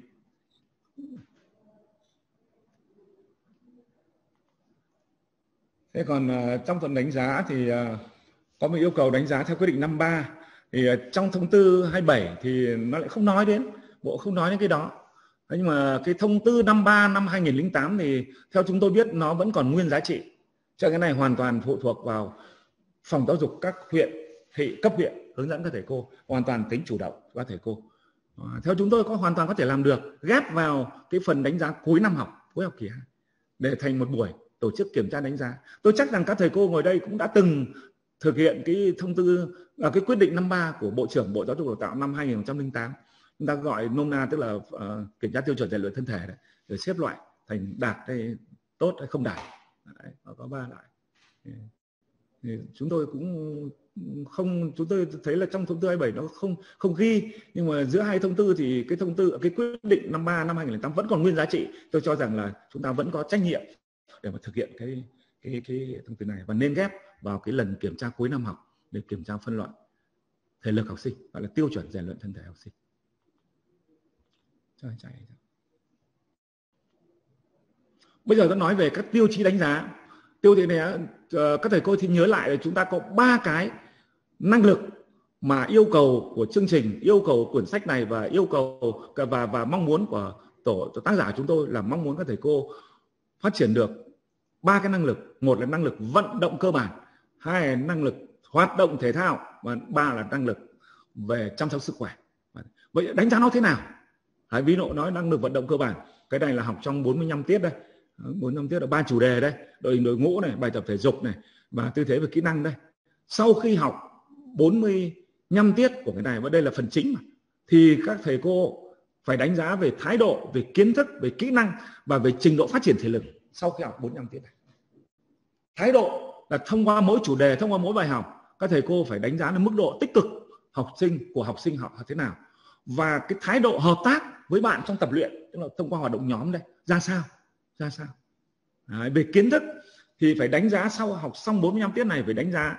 Và và học xong từng chủ đề đã đánh giá rồi. Từng chủ đề đã đánh giá rồi. Xem là mức độ học sinh đã biết chưa? Tức là về kiến thức. À, rồi học sinh đã thực hiện được không? Đấy là kỹ năng. Thực hiện được không? À, rồi cuối cùng mới là thái độ. Thái độ thì ở bên bên dưới. Cứ kiến thức kỹ năng thái độ mà để cô và thái độ cuối cùng là thái độ có nhu cầu và hứng thú tập luyện thể thao hàng ngày theo gương bác hồ vĩ đại. Ngày nào cũng tập thể dục. Thế rồi. Thế là đạt được yêu cầu. Đấy đánh giá thái độ là thế. Kiến thức là thế. kỹ năng khả năng thực hiện được cái động tác ấy. và trình độ thể lực. Bởi vì yêu cầu phát triển phẩm chất và năng lực nên là năng lực thể chất nhanh mạnh bền là phải được đánh giá một cách tường minh đấy. Cái, cái gì đấy? Cho nên chạy đi chạy rồi năng lực hoạt động thể thao à, ví dụ dạy bóng rổ hoặc dạy môn bơi dạy mùa xong 18 tiết hoặc trong quá trình dạy 18 tiết đấy của một môn thể thao thì phải đánh giá về thái độ cũng là mức độ tích cực học tập về hợp tác các bạn thế nào. Kiến thức là đã, đã, đã biết về động tác hay chưa? Đã biết về cái bài tập ấy chưa? Đã biết về cái trò chơi ấy chưa? À, giờ đắng kỹ năng là cái mức độ thực hiện động tác ấy bài tập ấy trò chơi ấy như thế nào? Cứ thế mà chúng ta đánh giá. Và cuối cùng là đánh giá thể lực. Xem là học xong cái môn bơi hoặc học xong môn bóng rổ thì sức nhanh sức bền khéo léo nó tăng trưởng đến đâu? Tăng trưởng nó bao nhiêu phần trăm so với cái cũ, so với lúc trước? Đấy là những yêu cầu về năng lượng. Đấy. ôi sao nó không chạy cho? Đấy. riêng năng lực chăm sóc sức khỏe. Năng lực mà nòng cốt là các thầy cô phải dạy cho hai thứ đấy. Một là vệ sinh cá nhân mà hai là đảm bảo an toàn trong tập luyện đấy. Thì cái này yêu cầu là không không không bố trí một phút giờ phút nào để dạy riêng. Không có. Mà yêu cầu trong cả 70 tiết học thầy cô tiết nào cũng phải nhắc đến hai cái đó và không chỉ nhắc hai cái đó. À, tôi tôi tôi nói lại không chỉ nhắc hai cái đó mà phải uh, uh, liên thông với các môn học mở rộng ra cái khác nữa để sao cho học sinh cứ hiểu được thế nào là sức khỏe vai trò sức khỏe là gì và làm thế nào để khỏe. Đấy qua cái đó nhưng mà nói được những vấn đề lớn những vấn đề lớn. Để giúp học sinh từ lớp 1 cho đến lớp 12 là học sinh phải tự trả lời trọn vẹn ba câu hỏi đó. Ờ, ba câu hỏi đó rồi thường xuyên nhắc nhở học sinh tập thể dục sáng, thể dục giữa giờ, tham gia các hoạt động ngoại khóa trong nhà trường để sớm hình thành năng lực này. Thì riêng năng lực này thì không, chúng tôi không quy định tiêu chí để đánh giá, mà cuối cùng cái này là thể hiện cái thái độ của học sinh. Sau khi, và có biết biết được những kỹ năng để mà chăm sóc sức khỏe cho bản thân mình. Tức là có trách nhiệm, học sinh học hết 70 tiết này, tự thấy hình thành nên nhu cầu và có ý thức trách nhiệm với sức khỏe của mình sức khỏe của mình. Để mà đừng hút thuốc lá đừng có chơi game đừng có ma túy đừng có xì ke ma túy đừng có gì đó. mà hãy ra sân tập hãy ra đường chạy hãy vào phòng tập ừ, để có được một cái thân hình khỏe mạnh cường tráng để hình thành cho học sinh một cái khát vọng có một cơ thể cường tráng hình thành khát vọng trở thành những vận động viên. Ừ, viên mà mang cái, nhất là những chiến binh áo vàng.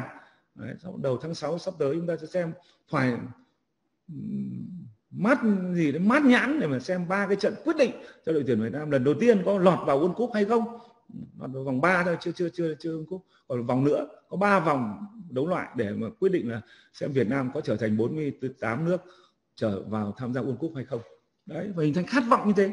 Đấy, chúng ta các thầy cô chắc là những nghiên, nghiên, nghiên, khi nghiên cứu nghị quyết đại hội đảng toàn quốc lần thứ ba đều thấy rất rõ tổng bí thư, chủ tịch nước, rồi các nhà lãnh đạo của chúng ta từ mấy tháng nay thường xuyên nói một câu, tức là phải hình thành khát vọng cho dân tộc Việt Nam này trở thành một cái nước hùng cường, không chịu thua kém với các nước khác. Khát vọng để đến khi kỷ niệm 100 năm thành lập đảng vào năm ờ, 2030 rồi 100 năm thành lập nước, năm 2045 thì nước ta đang hoàng trở thành một cái con rồng của châu Á. Đấy, mình thành khát vọng thế. Thì trong môn giáo dục thể chất đấy, từ cái vũ giáo dục phải hình thành nó học thích môn thể dục này. Xong có nhu cầu và hứng thú tập luyện thể thao thường xuyên này. Và lúc nào trong đầu nó cũng thành một khát vọng à mình phải trở thành người như thế kia. Con trai thì phải trở thành tám múi, sáu múi thế kia. Con gái thì phải thon thả, không có béo phì, không có cong vẹo cuộc sống. Đây đấy, thành khát vọng.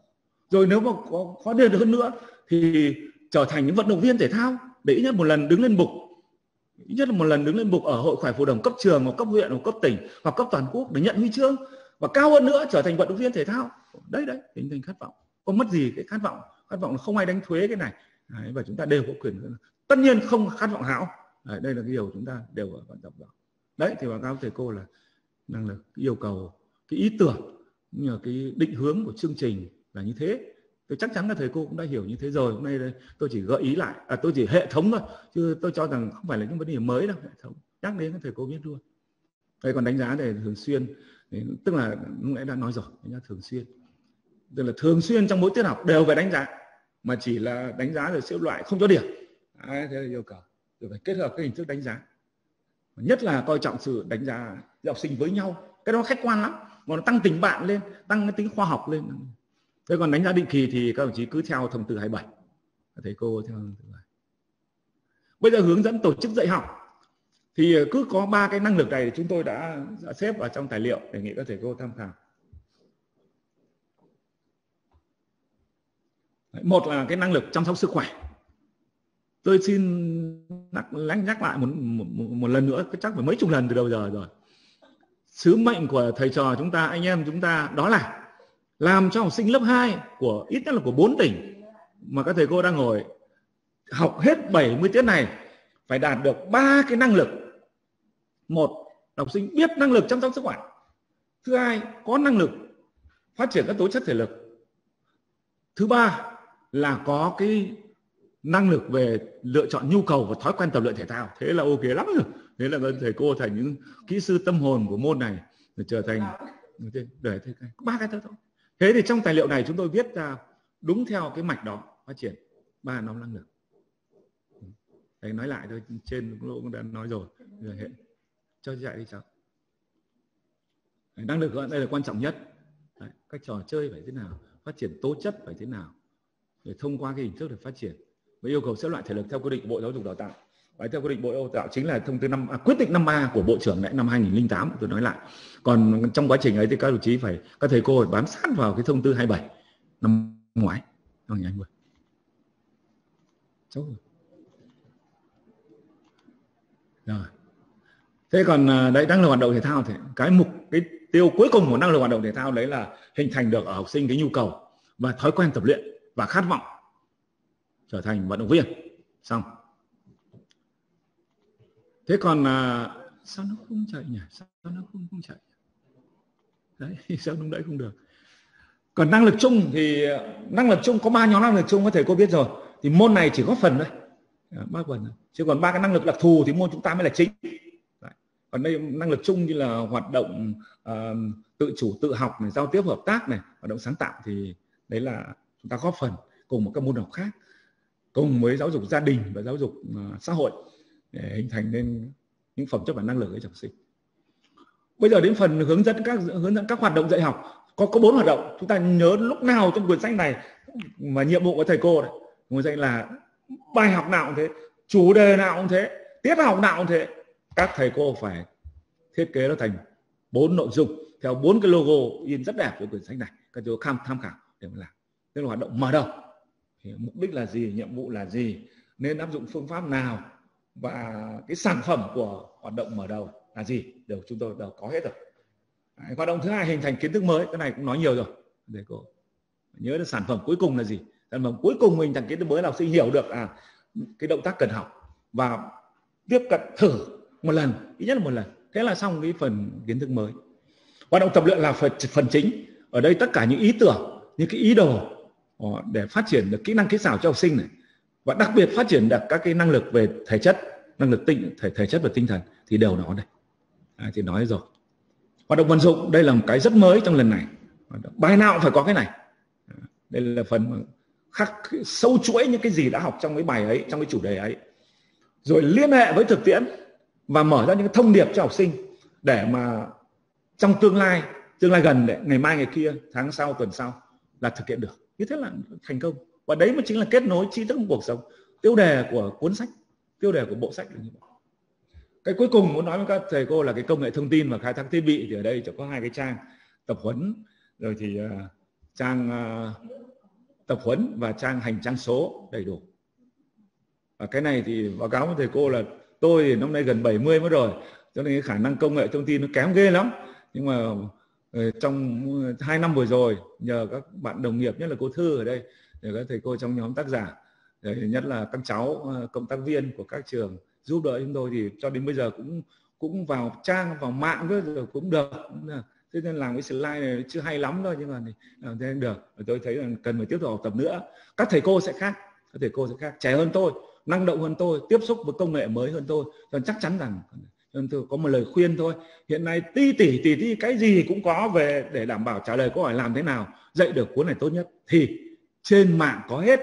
Thậm chí không cần đọc cái này đâu đọc cái này nó nhức đầu và nó cứ phải đọc bản giấy không không, không, tôi nói thậm chí thôi tôi còn có đương nhiên vẫn có. Nhưng mà bình thường các chí vào chỉ cần có một cái điện thoại di động như tôi và nhớ là bây giờ điện thoại di động là các thầy cô phải à, phải cài bluetooth bluezone nha bluezone nha. Sáng nay thủ tướng lại nhắc lại một lần nữa đấy yêu cầu tất cả. Và bộ thông tin đang đưa ra những cái tiêu chí gần như bắt buộc cưỡng bức bắt buộc người sử dụng điện thoại di động phải vào cái mã này. À, tôi cho rằng nếu có sẽ có biện pháp mạnh à, nếu không nhập thì cắt thông tin đi. Thế thôi. Giống như cái mấy cái thằng quảng cáo nó bậy ở trên à, bờ, bờ tường nơi công cộng mà mà đúng số điện thoại thế cắt. Thế là chịu.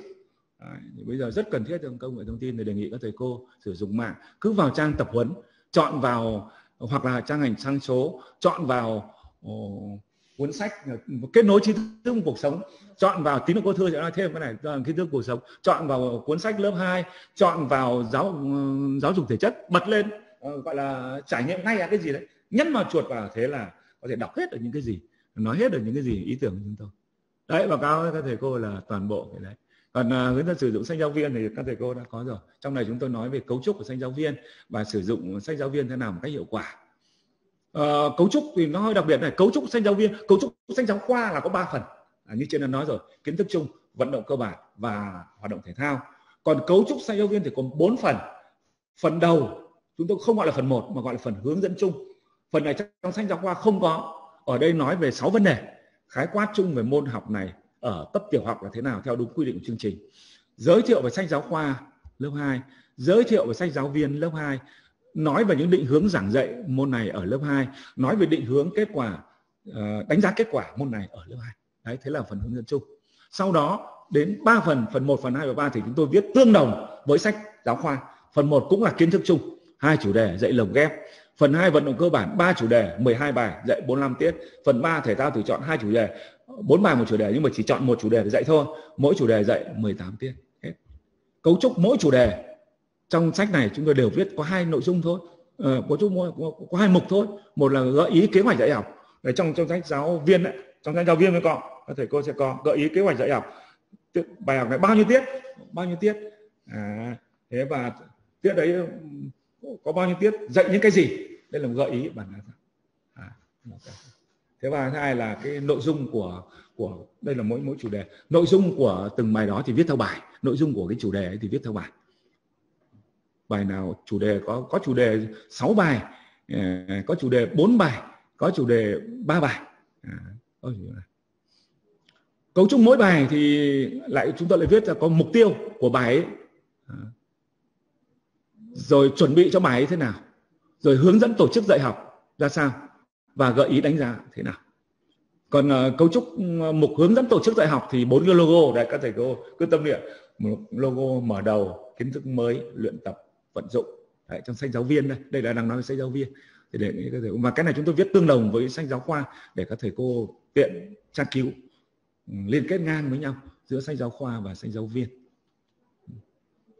Bây giờ đến yêu cầu sử dụng sách thì những yêu cầu đối với giáo viên trong này chúng tôi liệt kê các, các thầy cô sẽ nghiên cứu những cái tài liệu của cấp trên cụ thể là của phòng giáo dục đấy. Cấp trên nhưng theo chúng tôi ít nhất là các thầy cô nghiên cứu kỹ chương trình này rồi căn cứ vào nội dung của cuốn sách này và đặc biệt là các văn bản chỉ đạo của phòng giáo dục cấp huyện để tự mình xây dựng kế hoạch tiến trình giáo án dạy học trong cả năm cho phù hợp với trường mình với tỉnh mình.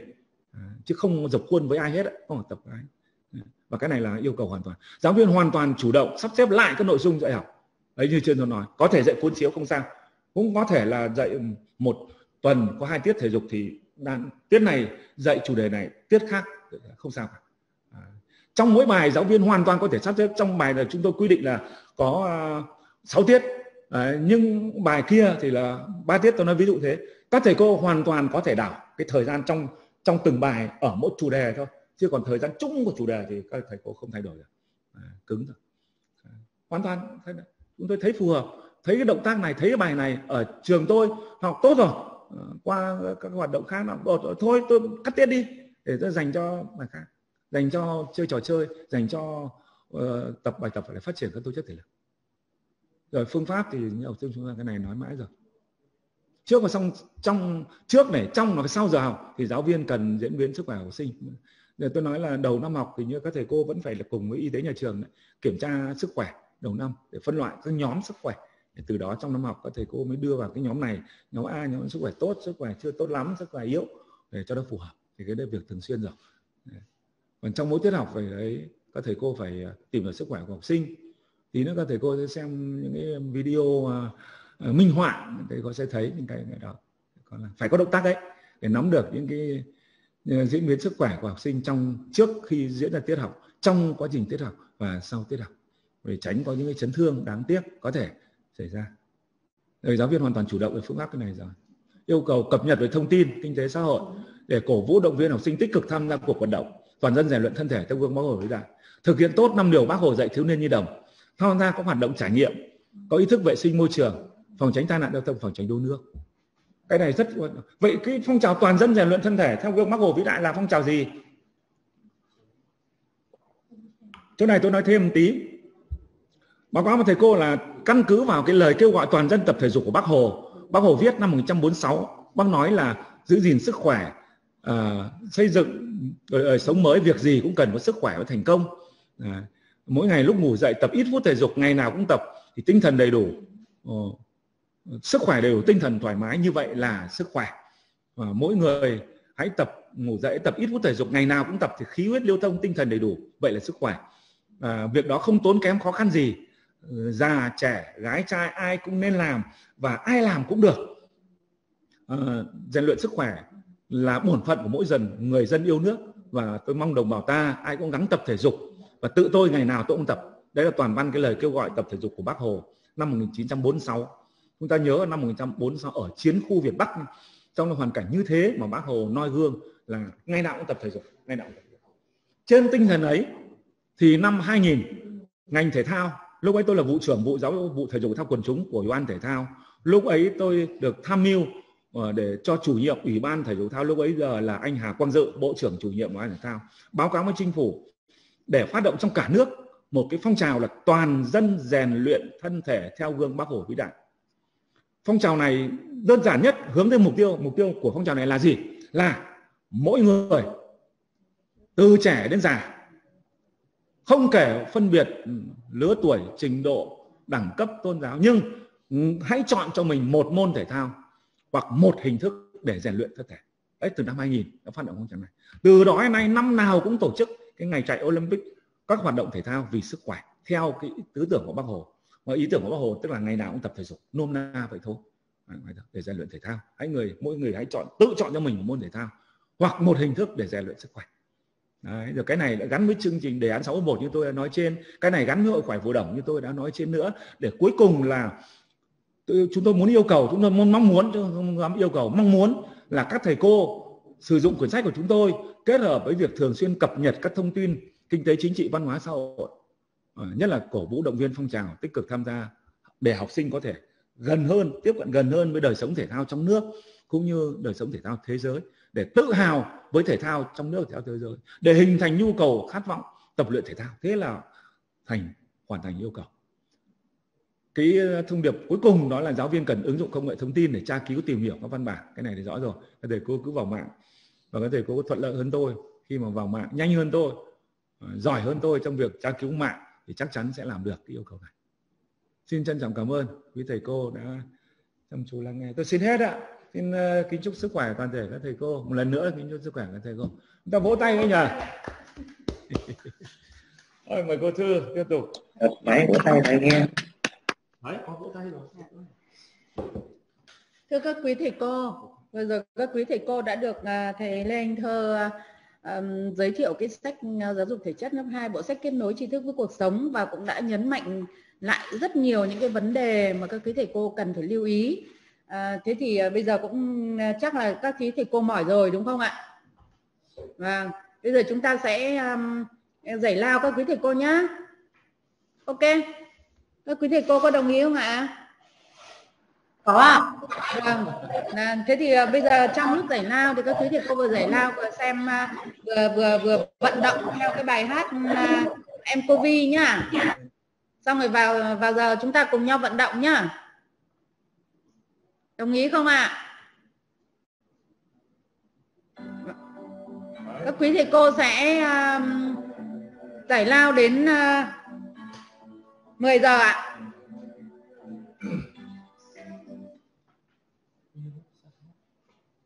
Đây là của mình đấy chứ Các cháu bật đây chưa? Dạ. Ở đấy có. Có bật đấy sao? Dạ. Mà hay lắm đấy. Yeah. Dạ lại đúng uh, thể thao ừ. bài rửa tay đấy đúng đấy vệ sinh cá nhân được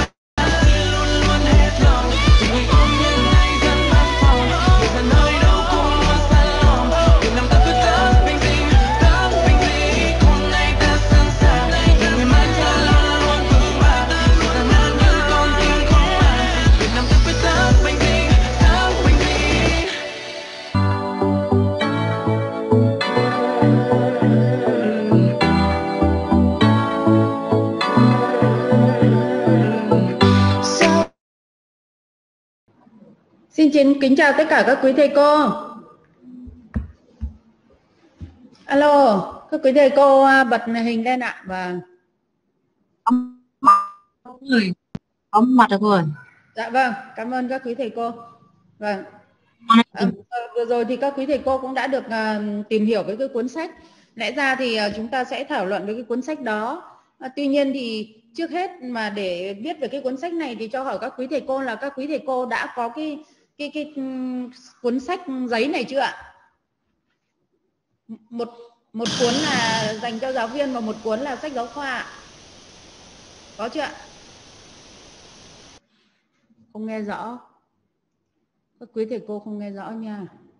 À chưa có. Tất cả các quý thầy cô đều chưa có hay là có nơi nào các quý thầy cô có không ạ?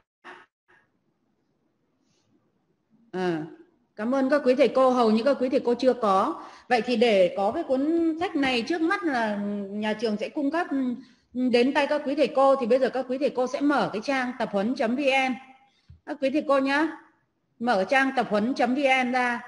Thế xong sau đó các quý thầy cô vào uh, sách kết nối tri thức với cuộc sống đấy. Xong các quý thầy cô nhấn uh, vào cái, cái cuốn uh, sách kết nối tri thức với cuộc sống và tham gia ngay không cần phải mã số gì cả. À nếu quý thầy cô mà có sách rồi ấy, thì chúng ta không cần nữa còn quý thầy cô nào chưa có sách thì các quý thầy cô mở ở cái trang tập huấn.vn ra nhá. Ok. Bây giờ ấy đến cái lịch tiếp theo lẽ ra là các quý thầy cô sẽ à, 10 giờ nghỉ đến 10 giờ 15 nhưng bây giờ các quý thầy cô vào rồi thì à, chúng ta sẽ làm sớm và có thể rằng là bé nào ngoan thì cho bé nghỉ trước 15 phút nhá. Còn bé nào không ngoan thì ngồi lại đến 11 rưỡi nhá. Ok được chưa? Và bây giờ đến cái tiếp theo ấy, lẽ ra là chúng ta thảo luận về sách. Thì các quý thầy cô có câu hỏi nào? Các quý thầy cô sẽ tương tác trên cái tin nhắn này, trên cái trang nhắn tin này này. Được không ạ? Đấy. Thế còn bây giờ các quý thầy cô sẽ quan sát à, băng hình nhá. Để quan sát băng hình cho tốt, thì ờ, tôi sẽ gửi cho các quý thầy cô một cái phiếu. À xin chào. à vâng chào thầy ạ. Vâng. À, khờ, khờ, chưa? Để để để ừ, thì các quý thầy cô sẽ sẽ sẽ quan sát theo cái phiếu cho cô cái phiếu phiếu cái phiếu quan sát bằng hình. Và quý thầy cô ơi quý thầy cô lắng nghe này. Vừa rồi à, nhóm à, ban tổ chức đã hỗ trợ và sẽ lập cho chúng ta riêng một cái trang email. Thế và cái trang email này sau này sẽ đưa cái mã cho các quý thầy cô và các quý, quý thầy cô có thể mở vào để xem tham khảo tất cả các cái cái cái sản phẩm mà các quý thầy cô đã làm trong chiều hôm nay, đó là bài soạn. Chính vì thế cho nên chiều hôm nay chúng ta sẽ có cái bài soạn minh họa. Và để có cái bài soạn mà chúng ta tự thực hành, thì bây giờ chúng ta sẽ xem cái băng hình minh họa nhé và các quý thầy cô đã có một cái trang email ờ, mới rồi, thì chiều hôm nay sẽ, chiều hôm nay cô sẽ sẽ gửi các quý thầy cô và sản phẩm của chúng ta ở trong đó và chúng ta sẽ tự uh, tham khảo lẫn nhau ở trong cái cái cái trang ấy được không ạ? và có ta có cái cái cần cái gì thì chúng ta sẽ tương tác ở trong cái trang email với chung nhau nhá. Trang riêng của chúng ta nhé và vâng. bây giờ trước khi các quý thầy cô quan sát băng hình thì cũng nói qua với các quý thầy cô như thế này. Tức là uh, cái băng hình này ấy, là cái băng hình về uh, chủ đề đội hình đội ngũ. Và trong đó thì có bài 2 là bài chuyển đội hình hàng dọc thành vòng tròn thế khi thiết kế cái bài này thì chúng tôi cũng rất là chăn trở và nghĩ rằng là uh, sẽ thiết kế một cái nội dung tự chọn và một cái nội dung đội hình đội ngũ. Thế thì trong cái uh, trang tập huấn.vn các quý thầy cô sẽ có hai cái băng hình uh, minh họa nhé đây là gọi là minh họa không gọi là mẫu đâu ạ. Tại vì thực ra với ai mà có dạy tốt nhất chăng nữa thì cũng đều không thể nào mà phù hợp quan điểm với nhau được. Với tôi thì là tốt nhưng với các quý thầy cô thì lại bảo không được vì quý thầy cô ở một cái điều kiện khác một môi trường khác một sân tập khác một đối tượng khác cho nên không thể nào mà mọi cái băng hình thì đều đáp ứng được tất cả các cái quý các quý thầy cô và đáp ứng được cho tất cả mọi người. Chính vì thế thì chúng tôi cũng cứ làm một cái băng hình gọi là băng hình minh họa và các quý thầy cô tham khảo. Và trong cái băng hình minh họa này thì các quý thầy cô uh, sẽ được uh, xem cái minh họa của cái bài chuyển đội hình hàng dọc thành vòng tròn. Đấy. Cô bấm nhé. Đấy thế thì ờ, khi mà các quý thầy cô xem băng hình thì các quý thầy cô sẽ thảo luận ờ, với nhau. Hoặc là cá nhân thì thôi thì tự suy nghĩ. Còn nếu nhóm thì các quý thầy cô sẽ thảo luận về thứ nhất là về cái cấu trúc cái cái cái giờ học này trong cái giờ học video này. Cái thứ hai nữa là cái cách thức tổ chức. Bốn hoạt động mà như trước thầy thầy thầy thầy thơ đã giới thiệu các quý thầy cô là trong một bài thì gồm có bốn hoạt động. Thế thì bốn hoạt động ấy nó tổ, cách thức tổ chức ra sao? Giáo viên tổ chức ra sao và trong đó thì cái hoạt động của giáo viên là gì uh, hoạt động của học sinh là gì và nhất là hoạt động học sinh bởi lẽ rằng bây giờ chúng ta là chủ yếu là cho học sinh hoạt động giáo viên cũng nên là giảm tải về nói giảm tải về các cái thao tác thừa để cho học sinh được tăng cường các cái lượng vận động nhiều hơn thì và trong đó thì chúng ta sẽ đề cập đến cái hoạt động đánh giá và quý thầy cô chú ý rằng cái hoạt động đánh giá này là hoạt động đánh giá thường xuyên chứ không phải định kỳ ạ. Cho cô bật. Ừ. Thế thì ờ, ở đây thì đã có cái mẫu rồi. Các quý thầy cô sẽ ờ, xem cái video này quan sát và ừ, các quý thầy cô sẽ vào này. Bây giờ phải vào cái email đấy. Các quý thầy cô ghi lại nhá. Hay là à, à em con cho, ờ, cho lên cái nhắn tin đi. À, ở trên nhắn tin sẽ có cái địa chỉ email và có cái coi mật khẩu luôn để các thầy cô đao cái này về và các thầy cô làm cái bài tập này nhá. Nó là cái cái cái file trình chiếu nhưng mà các quý thầy cô sẽ chuyển ra thành cái file thường các quý thầy cô. Các quý thầy cô nghe rõ không ạ? Alo? Không được chuyên đó mình dạ. Thế thì bây giờ quý thầy cô sẽ xem ở cái trang nhắn tin nhá. Các quý thầy cô xem xong mở cái email riêng của lớp mình ra. Đấy, riêng của lớp mình ra và mã cũng của riêng lớp mình. Lớp mình sẽ mở ra và đao cái file này xuống. Thế thì trong cái quá trình quan sát băng hình các quý thầy cô sẽ quan sát thứ nhất là hoạt động mở đầu thì trong hoạt động mở đầu thì chúng tôi đã thiết kế là kiểm tra an toàn vệ sinh dân tập sức khỏe của học sinh. Nhưng cái này trong cái ba, cái cái video này thì ở trong nhà tập, nhà nhà giáo dục thể chất cho nên nó cũng cũng cũng ờ, cũng tương đối là rõ rồi. Vì là giáo viên cũng đã làm trước cái việc này rồi. Thứ hai là việc nhận lớp, thứ ba là việc khởi động. Thứ tư là trò chơi, bổ trợ khởi động. Các quý thầy cô chú ý là trò chơi bổ trợ khởi động, nhưng không phải trò chơi vận động nhá. Trong cái mục hoạt động mở đầu là trò chơi bổ trợ khởi động còn có những cái nội dung ôn tập thì các quý thầy cô cũng lưu ý. Thế và trong thứ hai nữa các quý thầy cô cũng quan sát cái hoạt động hình thành kiến thức mới. Thế cái trong cái hình thành kiến thức mới này thì các quý thầy cô cũng chú ý là uh, làm quen động tác như thế nào giáo viên cho học sinh lĩnh hội động tác mới ra sao rồi uh, học sinh được trải nghiệm những động tác mới này theo những cái phương pháp gì và bằng cách nào và giáo viên có đánh giá cái kết quả mà khám phá lĩnh hội cái động tác mới này của học sinh không? Thì các quý thầy cô sẽ đưa vào hai cái ô đó là ô mô tả hoạt động của giáo viên học sinh và các quý thầy cô có bình luận gì thì các quý thầy cô ghi vào cái cái ô bình luận. Thế và các quý thầy cô cũng chú ý là các quý thầy cô quan sát cái hoạt động luyện tập. Đấy, hoạt động luyện tập thì trong đó chúng tôi cũng cố gắng đưa ra là có hoạt động cá nhân hoạt động cặp đôi hoạt động nhóm. Tuy nhiên thì cái hoạt động cá nhân là nó cũng không rõ nét bởi lẽ đây là cái bài À, chuyển đội hình hàng dọc thành vòng tròn. Chính vì thế nên hoạt động cá nhân của các con thì nó cũng không rõ nét nó chỉ rõ khi, khi mà các cái về các cái, cái kỹ thuật các cái cái động tác thôi. À, và cái hoạt động cá nhân này thì nó ở trong cái phần nó rõ nét ở trong những cái phần uh, trò chơi vận động. À trò chơi vận động thì thì sẽ rất là rõ. Đấy thì các quý thầy cô chú ý thì trong này chúng tôi cũng đưa ra là hoạt động cá nhân hoạt động uh, uh, cặp đôi hoạt động nhóm và các quý thầy cô chú ý rằng trong cái hoạt động tập luyện này ngoài tập luyện cái động tác vừa mới học ra hoặc là động tác đã học thì các quý thầy cô uh, sẽ cho học sinh chơi trò chơi vận động này rồi uh, cho học sinh có cho học sinh thực hiện bài tập thể lực không các quý thầy cô sẽ quan sát xem trong giờ này có không. Và trong cái hoạt động luyện tập này thì chúng tôi đưa vào cái hoạt động thả lỏng và hoạt động và tổng thể của hoạt động tập luyện này thì giáo viên đánh giá kết quả học sinh như thế nào? Thì các quý thầy cô cũng đưa vào hai cái ô. Một cái ô là mô tả cái hoạt động ấy và một cái ô là các quý thầy cô sẽ bình luận về cái cái cái hoạt động đấy. Ở cái hoạt động thứ ba là hoạt động vận dụng. Thế thì các quý thầy cô cũng chú ý là ừ, các quý thầy cô quan sát xem cái đánh giá tình hình học tập của học sinh ra sao hướng dẫn học sinh vận động dụng cái kiến thức đã học vào các cái hoạt động trong thực tiễn như thế nào. Đấy thì uh, thì thì các quý thầy cô chú ý. Thế um, các quý thầy cô cũng đừng lăn tăn gì về, về cái cấu trúc của một uh, giáo án. Sau này chúng ta sẽ bàn luận sau nhé. Thế và uh, cuối cùng thì các quý thầy cô cũng đưa ra được cái uh, cái cái cái cái, cái cái ý kiến của bản thân mình là ấn tượng tâm đắc gì mà cần tham khảo cần học tập. Và các quý thầy cô có thể là hoạt động nếu có nhóm thì các quý thầy cô sẽ hoạt động nhóm, nếu có cặp đôi sẽ hoạt động cặp đôi, còn nếu không có nhóm cặp đôi, các quý thầy cô sẽ hoạt động cá nhân. Và các quý thầy cô ghi vào cái phiếu này. Các phiếu này phiếu này khi hoàn thành thì quý thầy cô cũng gửi luôn vào cái trang của lớp. Được không ạ? Alo? Các quý thầy cô sẽ gửi vào trang của lớp. Thì à, đây là vừa rồi là cái phiếu quan sát. Bây giờ các quý thầy cô đã đao được cái um, cái cái cái cái phiếu này xuống chưa ạ? à? Mấy được con. Alo các quý thầy cô đã rõ chưa ạ? Alo? Có cái tin nhắn ở đâu nhỉ? Con ơi ở đây không có. Ở đây có rồi. Vâng cảm ơn các quý thầy cô. Ừ.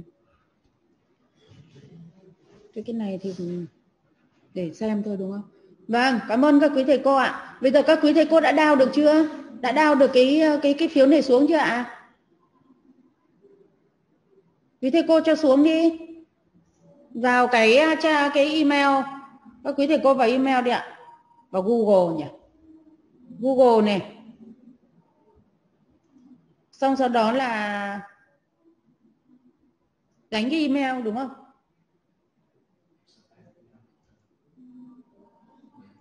Họ có mở không?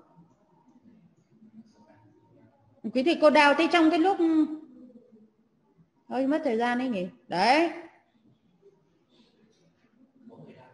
À vâng đã có thầy cô đã đào được xuống rồi.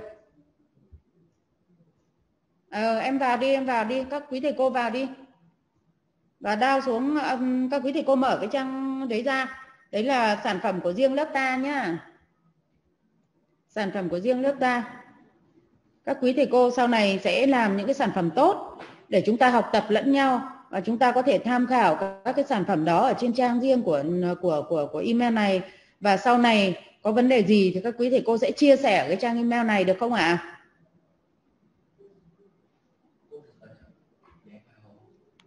Cô không ấn à? Ừ, cô không ấn nữa. Ừ, ừ. À, đau được rồi. Đấy. Đó mà bé nào giỏi thế chứ này. Đào được ngay cơ. tải chỗ nào cô ơi? À, tải nó có có chưa? Em có. Có rồi đấy cô, ở trong email đấy. Vào trên cái trang chung ấy trang là um, uh, giáo dục thể chất hai kết nối tri thức cuộc sống tất cả đều viết tắt quý thầy cô ạ xong rồi vào phần đã đã gửi nhá vào cái cái đã gửi ấy. Gửi rồi nhưng quý thầy cô vào cái trang cái cái cái chỗ đã gửi đi không phải cái cái trang trang chung thì chưa có gì đâu.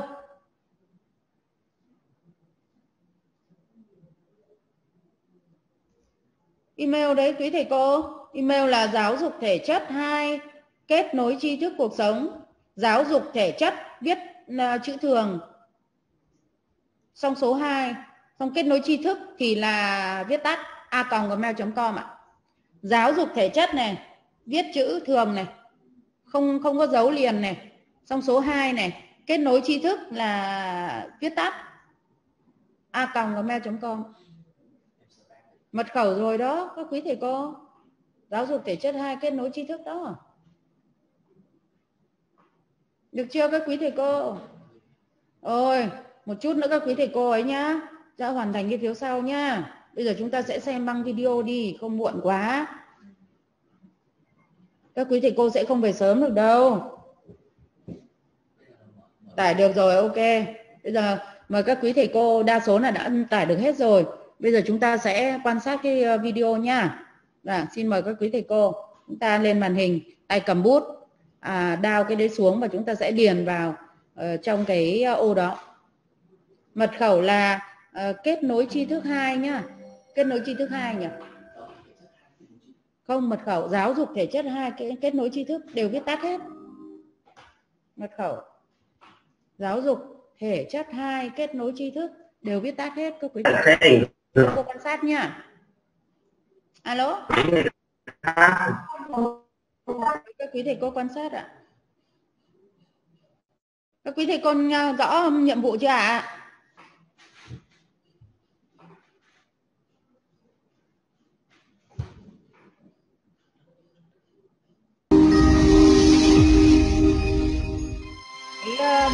cái bài học minh họa này là giờ dạy minh họa này là của một thầy giáo ở trường tiểu học Nguyễn Tuân của quận Thanh Xuân thành phố Hà Nội các quý thầy cô ạ à, khi Alo chị ơ Bố ngang thôi cái khác không phải cái này các cô cái kia cơ.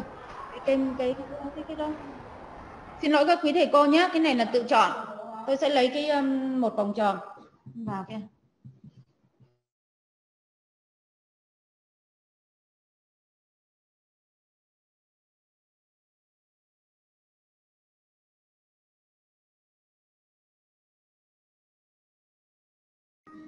theo cái ờ, ý kiến của nhiều chuyên gia rồi, nên bây giờ chúng ta sẽ theo chưa thấy hình rồi, ok.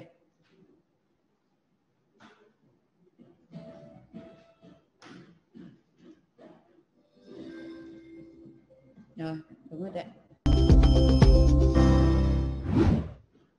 Cả lớp được số từ một đến hết 1, 2, 3, 4, 5, 6, 7, 8 hết Tổ 2 đủ, tổ 3 đủ, tổ 4 đủ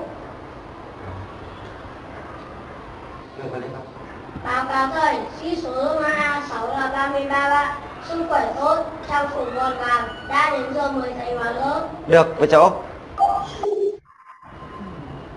Cả lớp chúc thầy Chúc cả lớp khỏe.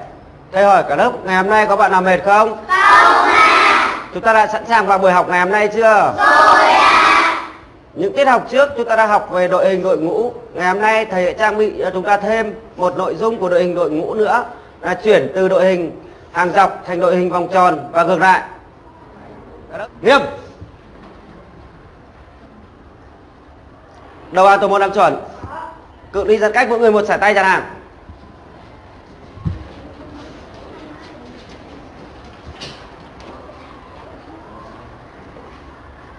Thôi.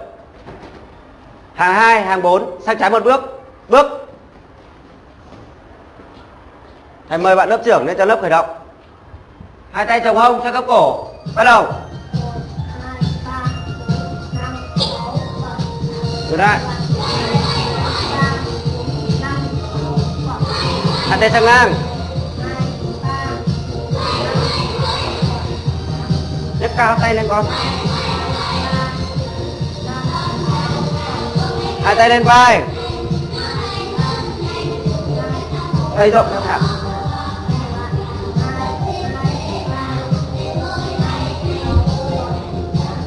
Hai tay chống hông.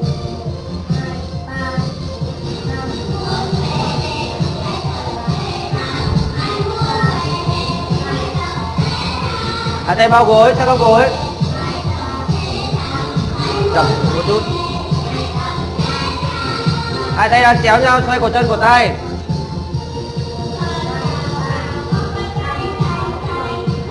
Tay chậm nha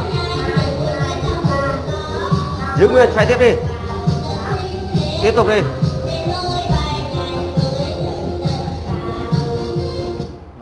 Vừa rồi thầy thầy lớp ta khởi động rất là tốt. Thầy thưởng cho chúng ta một tràng pháo tay. Trước khi vào bài học mới thầy cho chúng ta chơi một trò chơi. Trò chơi mang tên làm theo hiệu lệnh. Cả lớp, nhắm mắt lại.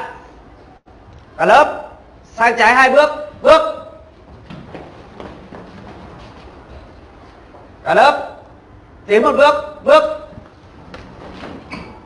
Cả lớp, lùi sau hai bước. Bước. Cả lớp, sang phải hai bước. Bước. Cả lớp, mở mắt ra nào. Tôi đã nhìn hàng của mình đúng chưa? Đúng chưa? Rồi, các con về vị trí hàng của mình nào.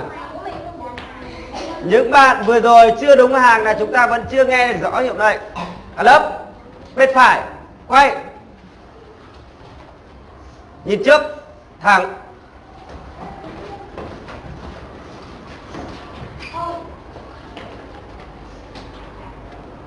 Thôi.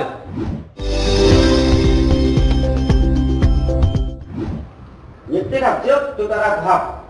Đội hình đội ngũ, ngày hôm nay thầy trang bị cho chúng ta thêm một nội dung của đội hình đội ngũ nữa. Là từ đội hình hàng dọc thành đội hình vòng tròn. Và ngược lại, thầy mời bạn lớp trưởng về đứng đầu hàng tổ một cho thầy. Khi nghe khẩu lệnh từ đội hình hàng dọc thành đội hình vòng tròn thì bạn đầu tiên của tổ 1 sẽ đi thường nhẹ nhàng thành một vòng tròn hết tổ 1 đến tổ 2 lần lượt như vậy đến tổ cuối cùng. Cả lớp chú ý. Từ đội hình hàng dọc, di chuyển thành đội hình vòng tròn, đi thường, bước thầy mời tổ 1 đi theo thầy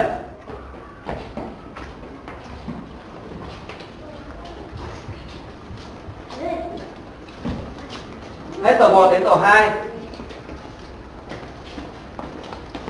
hết tổ 2 thì đến tổ 3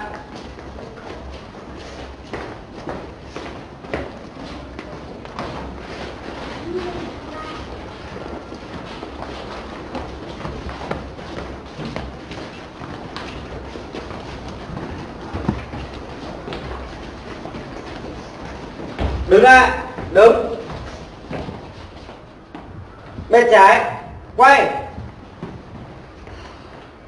Từ đội hình hàng dọc thành đội hình vòng tròn để chúng ta chú ý khoảng cách giữa các bạn với nhau. Chúng ta chỉnh khoảng cách nào? Khoảng cách của con chưa đều này. Khoảng cách của cổ duy, chỉnh lại đi con. Ở lớp bên phải. Quay. Khi nghe khẩu lệnh của thầy từ đội hình vòng tròn thành đội hình bốn hàng dọc, thì bạn đầu tiên của tổ 1 sẽ đi thường, thành vòng tròn và chạm vào tay của người chỉ huy. Cả lớp chú ý từ đội hình vòng tròn thành đội hình bốn hàng dọc, đi thường, bước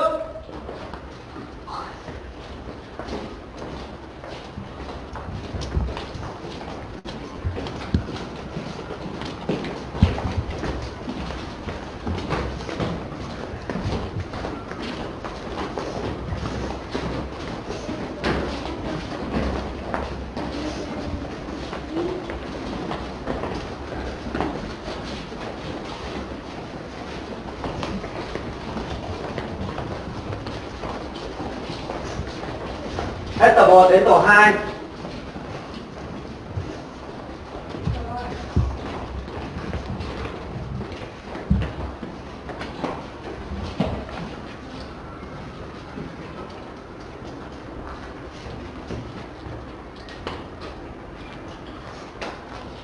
qua lần tập vừa rồi thầy thầy lớp ta thực hiện rất tốt, thầy thử của chúng ta một tràng vào tay nào.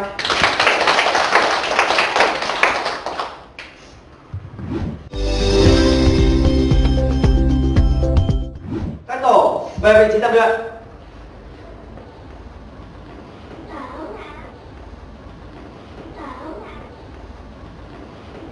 Thầy mời bốn bạn tổ trưởng điều khiển bốn tổ. Có ba đúng thầy ba bước nào. Các tổ trưởng điều khiển các bạn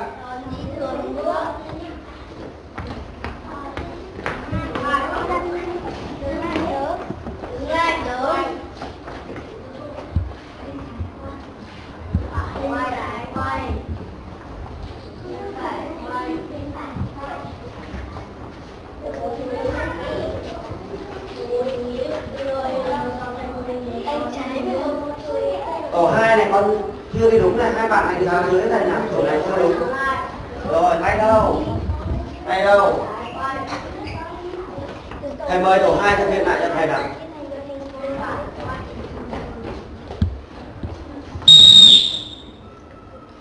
nghiêm tổ hai chú ý mời ra tập hợp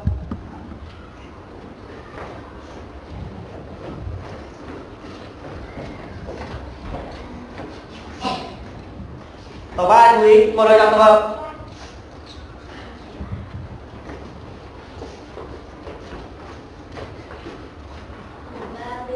Trừ. tổ bốn chú ý một lời chọn tập hợp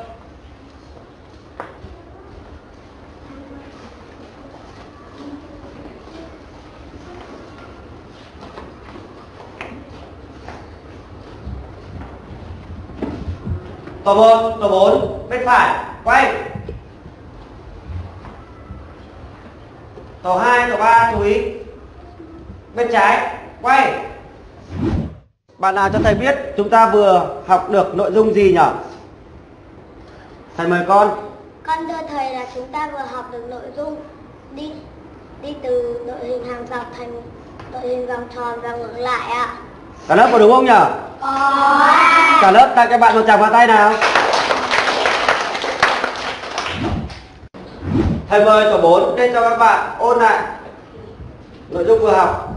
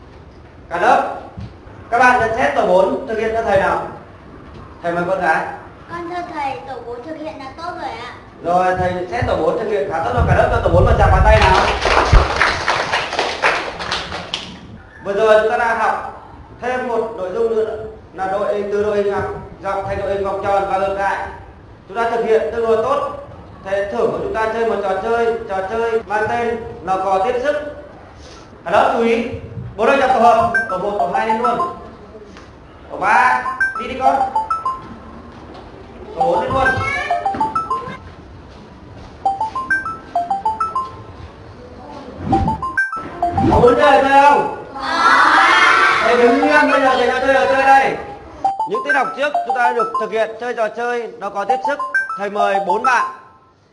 Tổ trưởng, nên thực hiện lấy đồ của mình nào?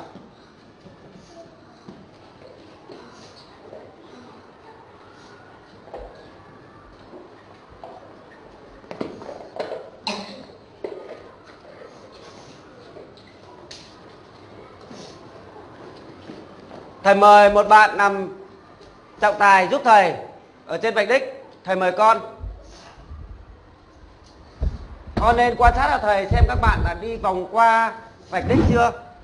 Luật chơi như sau, các bạn. Thứ nhất, nhảy đầu cò lên, ôm quả bóng. Về trao cho bạn thứ hai, bạn thứ hai thì ôm quả bóng đó, đặt vào vạch đích của mình, xong nhảy đầu cò về. Cả lớp chuẩn bị. Sẵn sàng chưa? Cổ vũ nhiệt tình không? Chuẩn bị.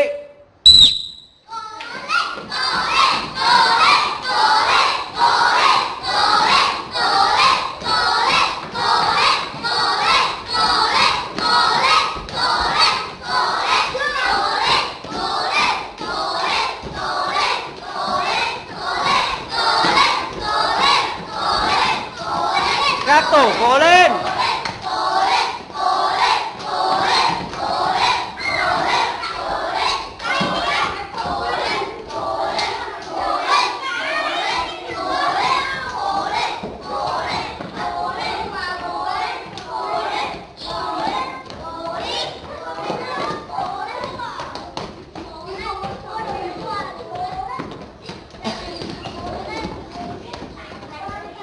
Đứng dậy đứng dậy con các con phải chú ý hàng nhá.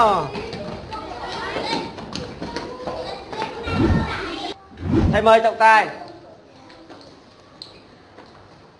Bỏ tay xuống con. Trọng tài, thầy hỏi có bạn nào phạm quy không?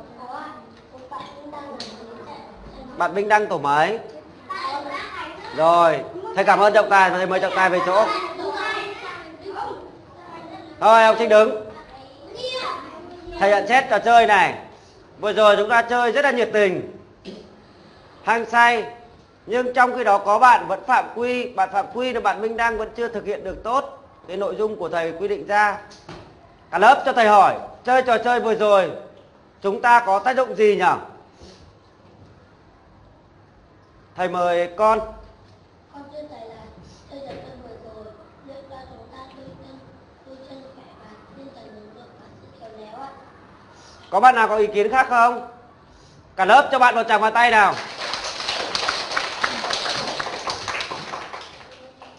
Vừa rồi chúng ta đã chơi trò chơi nó có tiếp sức, rèn luyện cho đôi chân. Nội dung này mới con vẫn chưa biết cách thực hiện để làm sao cho tên lửa bơm hơi đi được xa nhất. Thầy giới thiệu lại, chúng ta chúng ta chỉ đứng lên trước lên sau, dùng hết sức của vai này. Chúng ta dùng hết sức của vai. Đây, con bám sát chân đây này. Dùng hết sức của vai để đẩy mạnh. Tên lửa đi con nhớ chưa? Có bạn. Vừa rồi là chúng ta ném như này là chưa đúng, mà chúng ta quy làm sao đồng tên lửa đi này. Quan sát lớp cả lớp quan sát này quy tên lửa đi lại này. Nhớ chưa? Quy làm sao chạm vào đường, chúng ta đẩy nhớ chưa? Nào, con này lùi này.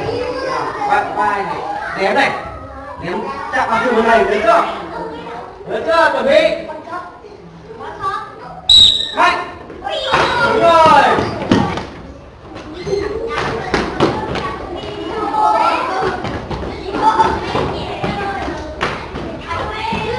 Đúng rồi, tốt. Chúng ta có muốn chơi trò chơi được không?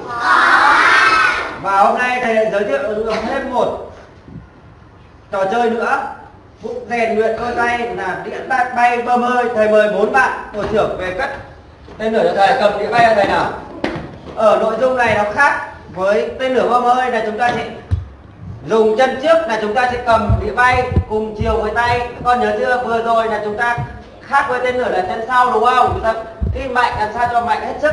Thì mạnh hết sức lên. Nhớ chưa? Bây giờ chúng ta sẽ thực hiện thử một lần. Thầy mời con lên lấy cho thầy.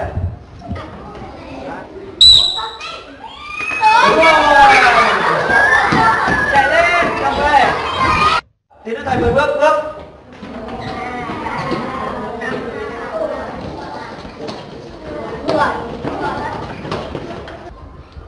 Cả lớp bên trái, quay. Đầu hàng tổ một đã chuẩn. Cứ đi ra cách của người chảy tay chẳng hạn.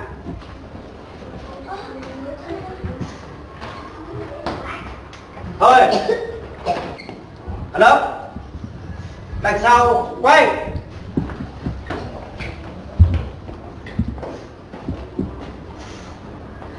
Thầy mời lớp trưởng lên cho lớp thả lỏng. Chúng ta cùng nghe nhạc thả lỏng. Đưa tay lên, thả lỏng. Bắt tay. Sang ngang nào. Nắp cổ tay. Bên trước. Dưới. Ra nhảy chân nào. Đổi.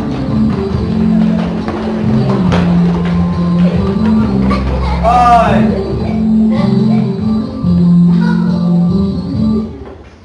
Nghiêm. Ở đó bên trái, Quay. Quay mặt đến kia. Nhìn trước, thẳng.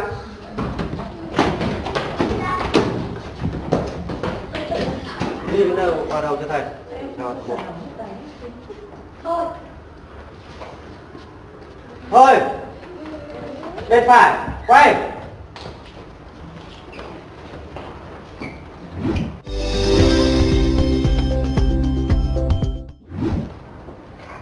Bạn nào có thể nhắc lại cho thầy nội dung học ngày bài hôm nay nhỉ? Thầy mời con. con thưa thầy hôm nay chúng ta học được nội dung chuyển từ đội hình hoạt động thành vòng tròn và ngược lại ạ Còn bạn nào có ý kiến khác không? Thầy mời con. con thưa thầy là còn chơi trò chơi là có tiếp xúc nữa ạ Vâng. Còn bạn nào có thêm ý kiến nào không nhỉ? Thầy mời con. không thưa thầy là tên lửa bơm hơi với cả là tia, Đúng rồi đấy các con ạ. Hôm nay chúng ta học được nội dung là chuyển đội hình hàng dọc thành đội hình vòng tròn và ngược lại chơi trò chơi nó có tiếp sức tên lửa bơm hơi và địa bay bơm hơi. Nghiêm. Về nhà chúng ta vận dụng bài học ngày hôm nay vào chơi các trò chơi và chúng ta lưu ý chơi các trò chơi chúng ta chơi ở nơi bóng mát không chơi ở ngoài khu ánh nắng các con nhớ chưa nhỉ Rồi ạ. nghiêm cả lớp giải tán. Quay bên phải quay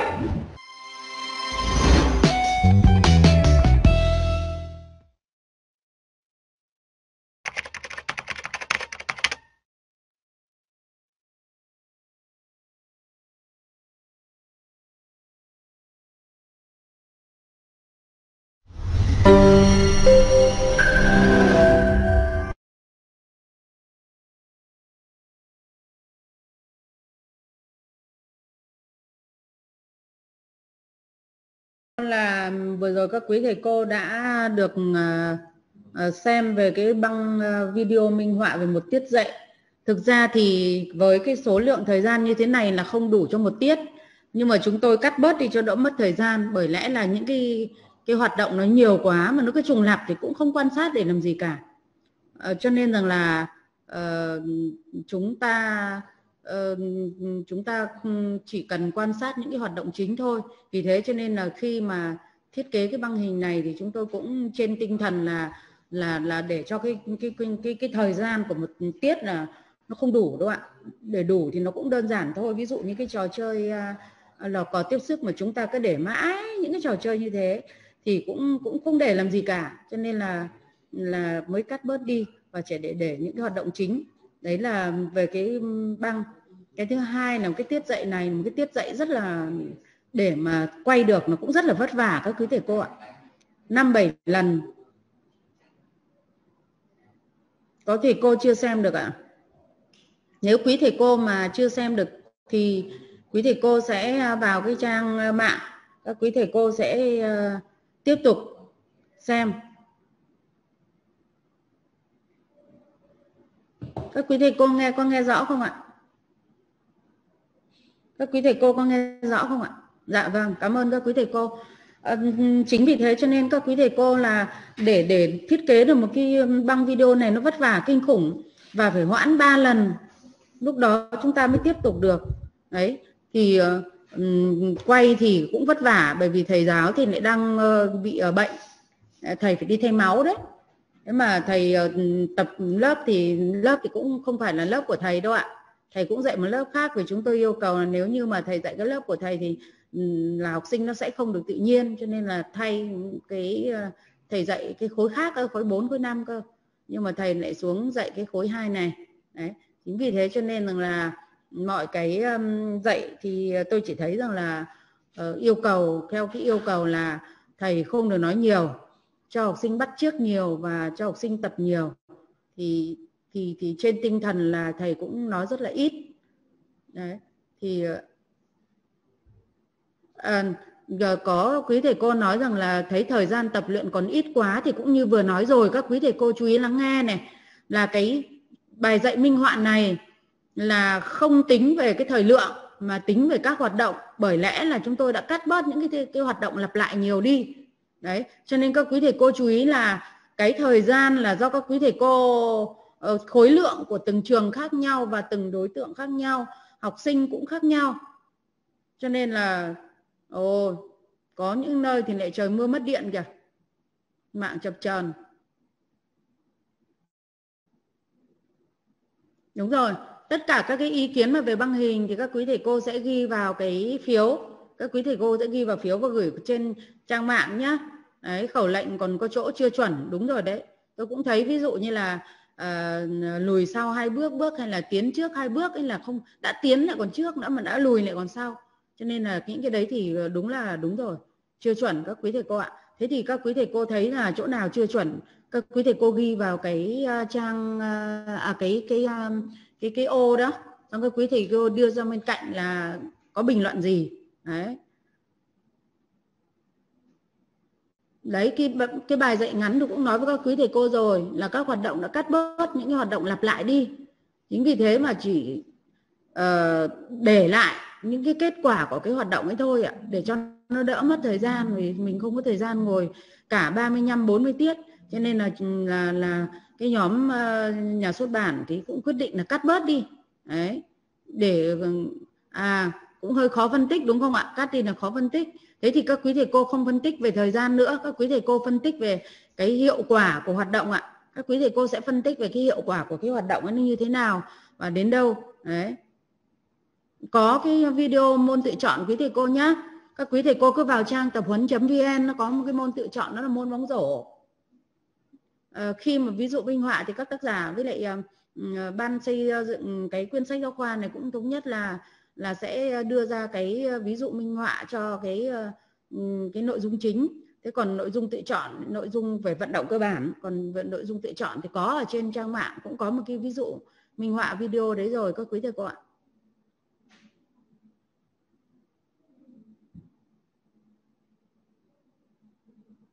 À, bài không rõ tiết số mấy? Có chứ quý thầy cô có bài đấy.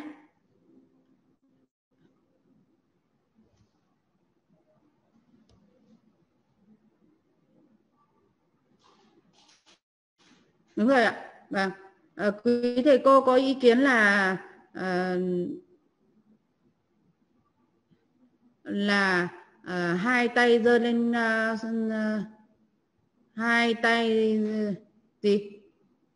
Học sinh giơ hai tay lòng bàn tay ngửa lên trên là chưa chuẩn. Đúng rồi cái này thì các quý thầy cô sẽ nói trong cái tư thế vận động cơ bản.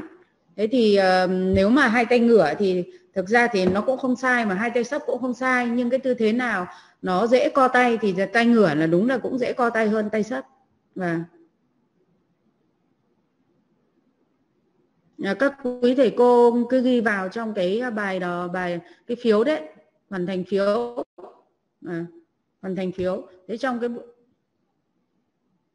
à lại nói đến thầy bị ốm sao không chọn thầy khác? Thực ra thầy là thầy rất có kinh nghiệm quý thầy cô ạ thầy cũng đã có kinh nghiệm về cái giảng dạy này rồi, cho nên là với thầy nó cũng không có vấn đề gì mà hoãn không phải là do thầy ốm, mà hoãn là do vì covid, cho nên là mấy lần như thế không quay được. Đấy, và chúng tôi cũng cố gắng lẽ ra là không có cái tiết dạy này đâu ạ. Nhưng mà chúng tôi đã cố gắng vì sao? Vì nếu chỉ có mỗi môn tự chọn, ví dụ minh họa cho các quý thầy nó không không không được ừ, rõ. Thế và tôi nghĩ rằng đây chỉ là một cái ví dụ minh họa.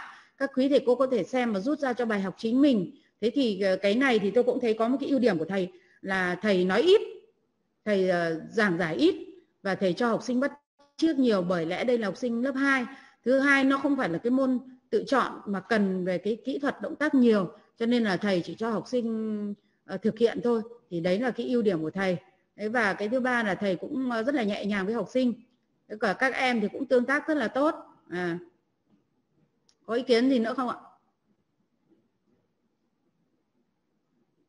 Khi cho học sinh chơi trò chơi thì có nên nhận xét là thắng thua đội thua thì uh, có nói là bị phạt ờ, không ạ? Hay sử dụng từ ngữ như thế nào cho hợp lý?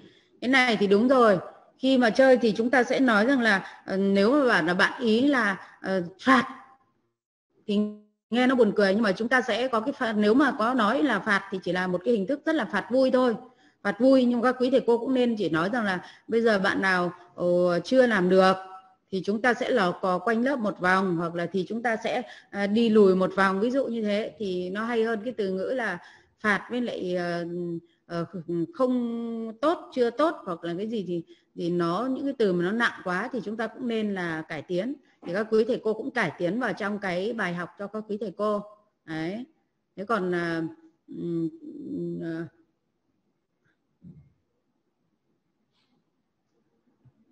à, đối với cái băng ờ, video minh họa ấy thì uh, thực ra thì tôi thấy rằng học cũng không có gì là nhanh đâu quý thầy cô ạ. Tại vì là thầy đã đi cùng này xong rồi thầy lại uh, uh, dẫn học sinh đi đi cùng với học sinh không thầy dẫn học sinh vào từng từng hàng rồi. Đấy xong rồi trải qua là vì đây nó là có gồm có 5 phút nhưng mà quý thầy cô khi dạy các quý thầy cô sẽ được thời gian nhiều hơn. Cho nên là trong một tiết dạy thì cũng không phải là nhanh đâu thầy ạ học sinh cũng biết đấy học sinh cũng biết làm đó. Tuy nhiên thì à, đối với à, khi quay thì cũng quay cái kết quả ừ, đây là ừ, thầy ghi ở trong này là thầy ghi là bài này là hai tiết. À, thế nhưng mà thực thầy thực hiện thì là tiết một. Đấy, tiết một đấy ạ. Bởi vì đây là dạy mới ạ.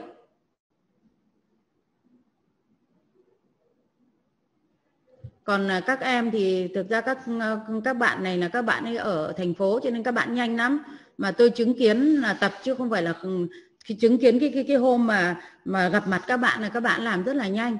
Và đây là khi mà làm cái băng video này thì yêu cầu giáo viên là phải thực hiện theo đúng như sách giáo khoa, chứ không phải là là thực hiện các cái nội dung mà theo ý thầy tức là đây là thầy chưa cải tiến một cái gì cả, mà thầy đã thực hiện theo cái ý đồ trong sách giáo khoa, một cái bài trong sách giáo khoa đấy các quý thầy cô ạ, chứ chưa cho thầy cải tiến gì đâu ạ à.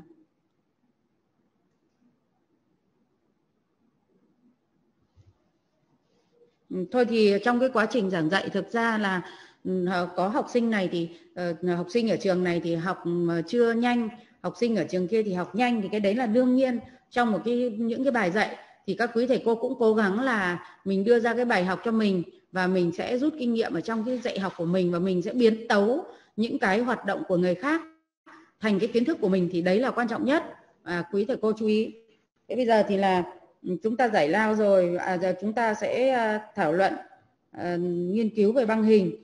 Ờ, và từ sáng thì có về cái sách nữa. Các quý thầy cô có cái ý kiến gì về sách luôn không ạ? Gần đây có có quý thầy cô có nói rằng là à, sách giáo khoa thì học sinh học vào lúc nào được ạ? Học sinh trường em chỉ học ở ngoài trời. À cái này thì quý, quý thầy cô chú ý rằng lúc thầy thơ cũng đã nói rồi và chúng tôi cũng nói rồi. Thứ nhất là có sách giáo khoa là giúp cho học sinh biết được là và phụ huynh biết được là à ngày mai các con học gì thứ hai là sách giáo khoa là giúp cho học sinh hiểu được là ờ, tự tập luyện được ở nhà như thế nào. Ví dụ như hồi kia xưa các quý thầy cô dạy động tác vươn thở chẳng hạn, mà về thì trong cái bài hoạt động hoạt động ờ, kết thúc, các quý thầy cô lại nói rằng về các con ôn lại động tác vươn thở. Vậy thì các con học động tác vươn thở nhưng các con không nhớ thì các con học ở đâu? Cho nên là sách giáo khoa nó có lợi là cho học sinh nhìn vào các con có thể là nhớ lại cái bài và tự tập được. Đấy thế rồi là ừ. à, thế các quý thầy cô vào cái trang này để lấy phiếu đi ạ. À? là cái chỗ mà thư đã gửi ở trong cái email của lớp mình ý. Thư đã gửi trong email của lớp mình nhá các quý thầy cô. Các quý thầy cô vào được email chưa? Bản powerpoint đúng rồi. Đúng rồi các quý thầy cô nào không được thì vào cái um, cái cái cái uh, email đi. Vào email xong rồi vào cái uh, à, em vào được rồi ok rồi. Sao vào rồi? Vào cái chỗ thư đã gửi cơ mà cô. Vào chỗ thư đã gửi đi.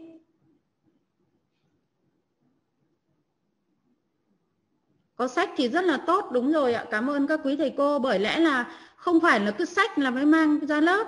Có thể lúc mang ra lớp cũng có thể là học ở nhà mà quan trọng nhất đối với đối với cái mục tiêu của môn giáo dục thể chất là các con tự tập luyện được kết luận cuối cùng là các con tự tập luyện được chính vì thế cho nên các con có sách, là các con có căn cứ để các con tập luyện, các con có nhìn động tác là các con có thể ôn lại được, gợi ý cho các con được và bố mẹ có thể giúp hỗ trợ cho các con được tự tập luyện được thế còn ở lớp thì các quý thầy cô chú ý là nếu như hôm nào các quý thầy cô không sử dụng tranh ảnh và bây giờ ấy, thì thực ra là tranh ảnh thì cho hỏi các quý thầy cô là các quý thầy cô có thường xuyên dùng tranh ảnh không? Các quý thầy cô cho hỏi ạ. Các quý thầy cô có thường xuyên dùng tranh ảnh không ạ? Xin hỏi các quý thầy cô ạ. Có, và thế quý thầy cô sử dụng tranh ảnh vào lúc nào trong các giờ dạy ạ? 11 giờ 30 mới nghỉ nhé, quý thầy cô. Vâng. Và các cô, quý thầy cô cho cho hỏi rằng là tranh ảnh có quan trọng không? Tranh ảnh có quan trọng không ạ? Có sử dụng nhiều không ạ? Vâng, cảm ơn các quý thầy cô, các quý thầy cô nói đây rồi. Tuy nhiên thì à, cũng hỏi các quý thầy cô là nếu như mà mình dùng sách giáo khoa mà có những lúc không cần tranh ảnh mà dùng sách giáo khoa thì có ổn không? Thay cho tranh ảnh có được không ạ?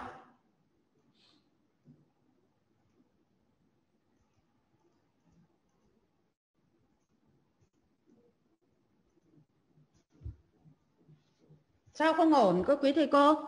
Bởi vì là dùng sách giáo khoa mà thay cho tranh ảnh ở lúc học nhóm nhá. Ví dụ như học nhóm, các con thay vì là các con cứ chạy lên các con phải quan sát tranh. Thay vì hôm đó là cô phải mang các cái giá tranh ra thì cái hôm ý là vì là bài ôn tập cho nên là mang tranh ra cũng không hiệu quả bằng sách vì sách lại còn có cái lời phân tích thế thì sách giáo khoa tranh ảnh là cho các con học mới nhưng khi ôn tập thì thay vì là cho các con lôi tranh ảnh ra để để để để các con quan sát thì sách nó lại có thêm một cái phần là phần hướng dẫn cho các con. Cho nên là cái cái cái um, cái, cái, cái các con là dùng sách. Và sách ấy thì chúng ta lại có phương pháp. Ví dụ các con có thể mang ra các con để trên cái bàn để trên một cái ghế ở trên lớp. Được tổ nào vào tổ đấy là được mà có gì đâu các quý thầy cô. Cầm sách sẽ không tiện. Không phải khi học cầm sách đâu các quý thầy cô ạ. À. không cần mà sách chúng ta mang ra nhưng chúng ta để cho mỗi tổ ở trên bàn. Và mỗi tổ chỉ cần là một, hai quyển thôi, cũng không cần nhiều đâu. Năm hôm này thì bạn này cầm sách ra, hôm sau thì bạn lại khác cầm sách ra. Thế là các con có cái thay được tranh ảnh. Thế bây giờ hỏi các quý thầy cô nhá là vừa rồi chúng tôi xây dựng thiết bị tối thiểu thì ở các vụ, các cái ờ, ờ, một số nhà chuyên môn nói rằng là nên bỏ tranh ảnh đi vì bây giờ đã có sách giáo khoa và người ta viết rất rõ rồi.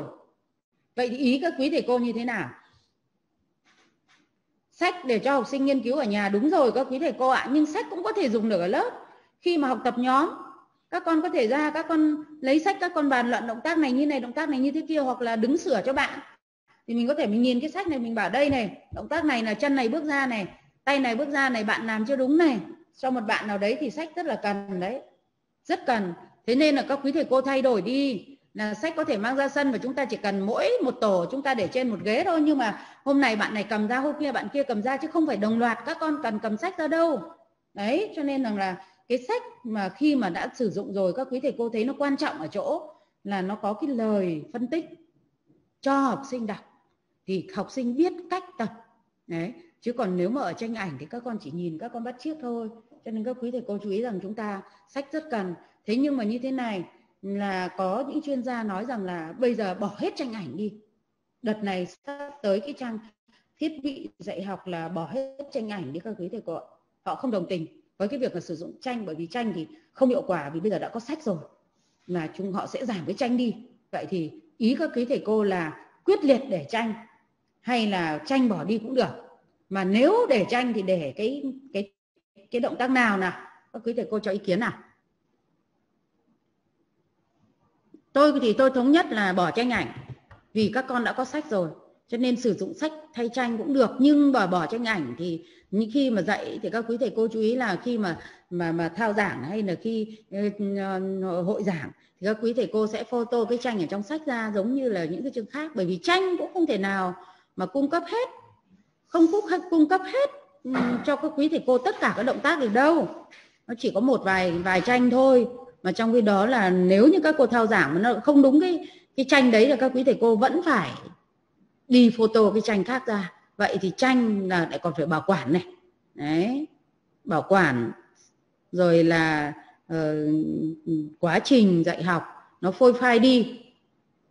Vậy thì các quý thầy cô thấy là quyết liệt để tranh hay là bỏ tranh đi vì các chuyên gia thì người ta nói là nên bỏ tranh đi. Đấy thay vì là tranh thì bây giờ đã có sách và sách phân tích rất kỹ rồi. Đấy. Và cảm ơn các quý thầy cô. Rất nhiều quý thầy cô nói rằng bỏ tranh đi. Đấy.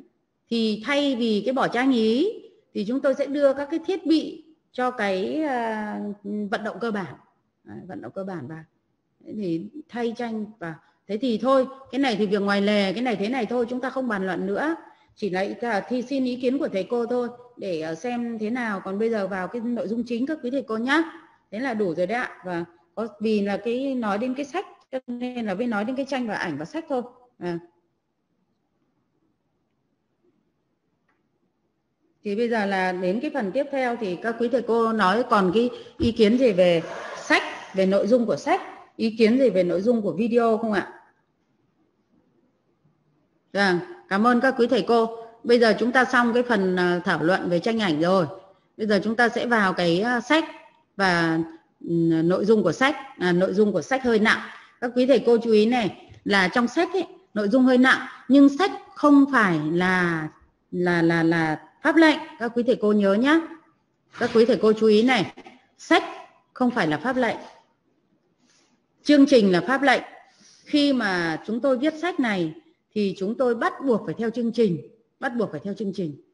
Nhưng mà khi viết sách thì chúng tôi cố gắng truyền tải làm sao đủ các cái nội dung cho các quý thầy cô. À, nhưng các quý thầy cô có trách hơi trách hơi nặng là vì này này một bài là ba bốn tiết cơ các quý thầy cô ạ không phải đấy là một tiết đâu. Nội dung sách ấy trong sách là ba bốn tiết một bài đó chứ không phải một tiết. Thế thì ví dụ như cái chương à, vận động cơ bản thì gồm có 6 bài đấy.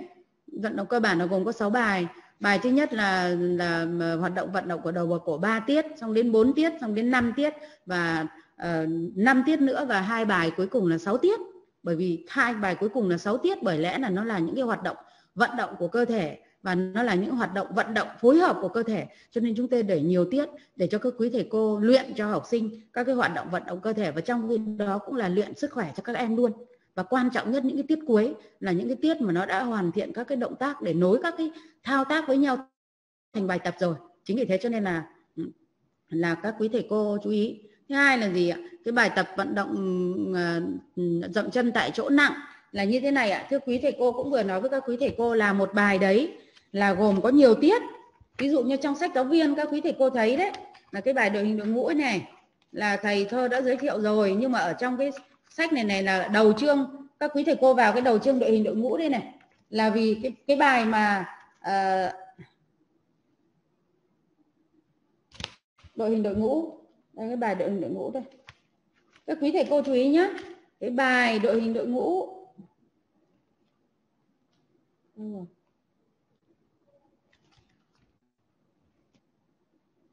Là cái chuyển đội hình vòng tròn mà ngược lại này là 5 tiết các quý thầy cô ạ tức là theo cái ờ, phần trăm của của của của của ờ, của của chương trình chương trình là pháp lệnh mà, thì bài ở đội hình đội ngũ này sẽ là ờ, 14 tiết, tức là 20 phần trăm. Đấy, chúng ta tổng 70 tiết thì mà 20 phần trăm của 70 tiết thì gồm 14 tiết. Thế trong sách giáo viên này này, thì các tác giả đã có cái dự kiến về cái kế hoạch dạy học cho các quý thầy cô. Đây nhưng đây chỉ là dự kiến và cái dự, từ dự kiến này thì chúng tôi viết thành các cái bài ở trong sách này thế thì cái bài trong sách này là chúng tôi căn cứ vào cái mà chứng cái mà chúng tôi đã đã đã xây dựng cái kế hoạch đây. Thế về thì các quý thầy cô sẽ xây dựng cái kế hoạch của các quý thầy cô là cái bài à, ừ, tập hợp hàng dọc giống hàng điểm số này có thể là không để năm tiết các quý thầy cô để ít đi. Thế cái bài mà dậm chân dậm chân tại chỗ đứng lại này ở trong này ghi 4 tiết nhưng các quý thầy cô thấy là à, ồ mất điện mưa to này. Sách cho nên là à, các quý thầy cô cứ dựa vào đây các quý thầy cô có thể điều chỉnh lượng vận động điều chỉnh thời gian điều chỉnh cái thời lượng này. Nhưng thời lượng này thì tổng thể dù điều chỉnh thế nào thì nó cũng vẫn gồm 14 tiết các quý thầy cô nhé đấy. Đang đang ở trên um, tất cả đang ở có một số nơi địa danh mưa rất là to. Và sách chỉ là tham khảo nhưng chúng tôi khi tham khảo chúng tôi cũng không chủ quan mà chúng tôi phải cân đong đo đếm rất kỹ để đưa ra được cái kế hoạch dạy học đưa ra được những cái bài mà ừ, những cái bài này soạn những cái bài này mà tương đương với cái số tiết mà các quý thầy cô là chúng tôi đã xây dựng cái kế hoạch này. Cho nên các quý thầy cô uh, chú ý. 14 tiết cho em? Đây là 14 tiết. 14 tiết nhá. Thế còn nó ôn tập đánh giá là khác.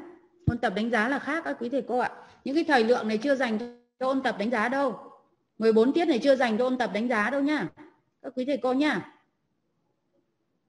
các quý thầy cô có thể thay đổi cái số lượng ờ, căn cứ vào cái cái cái cái, cái sách giáo viên này các quý thầy cô có thể điều chỉnh cái thời lượng. Nhưng dù điều chỉnh thế nào thì thời lượng trong một chủ đề các quý thầy cô cũng phải giữ. Ví dụ như đội hình đội ngũ là 20 phần trăm à, bài thể dục là 10 phần trăm Ờ, tư thế và kỹ năng vận động cơ bản là 24 tiết tức là 40 bao nhiêu nhỉ?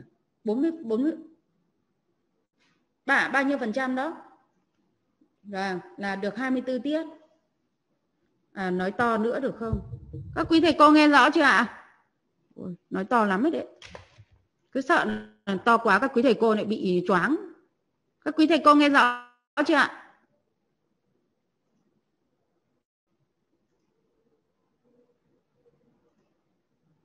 Rồi các quý thầy cô nghe rõ rồi. Các quý thầy cô sẽ cộng số tiết ừ, kiểm tra đánh giá vào chia đều cho các các các, các cái giờ này. Các quý thầy cô ạ. À, nghe rõ rồi. Ok. Vậy thì vừa rồi thì các quý thầy cô đã có đã trả lời một số các cái câu hỏi cho các quý thầy cô. À vấp là vì do mạng yếu cô ạ. Mạng yếu thì chịu nhá không thể nào để cho hết vấp được đâu nhá.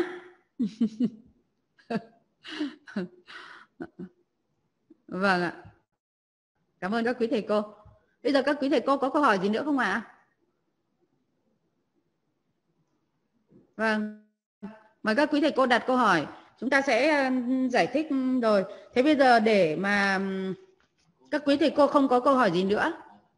À có có câu hỏi. Và à, đối với vùng thuận lợi thì không cần tranh ảnh nhưng vùng miền dân tộc học sinh chúng em nhận thức ờ, yếu tiếng phổ thông các em chưa thông. À thiết bị hạn chế nội dung nặng.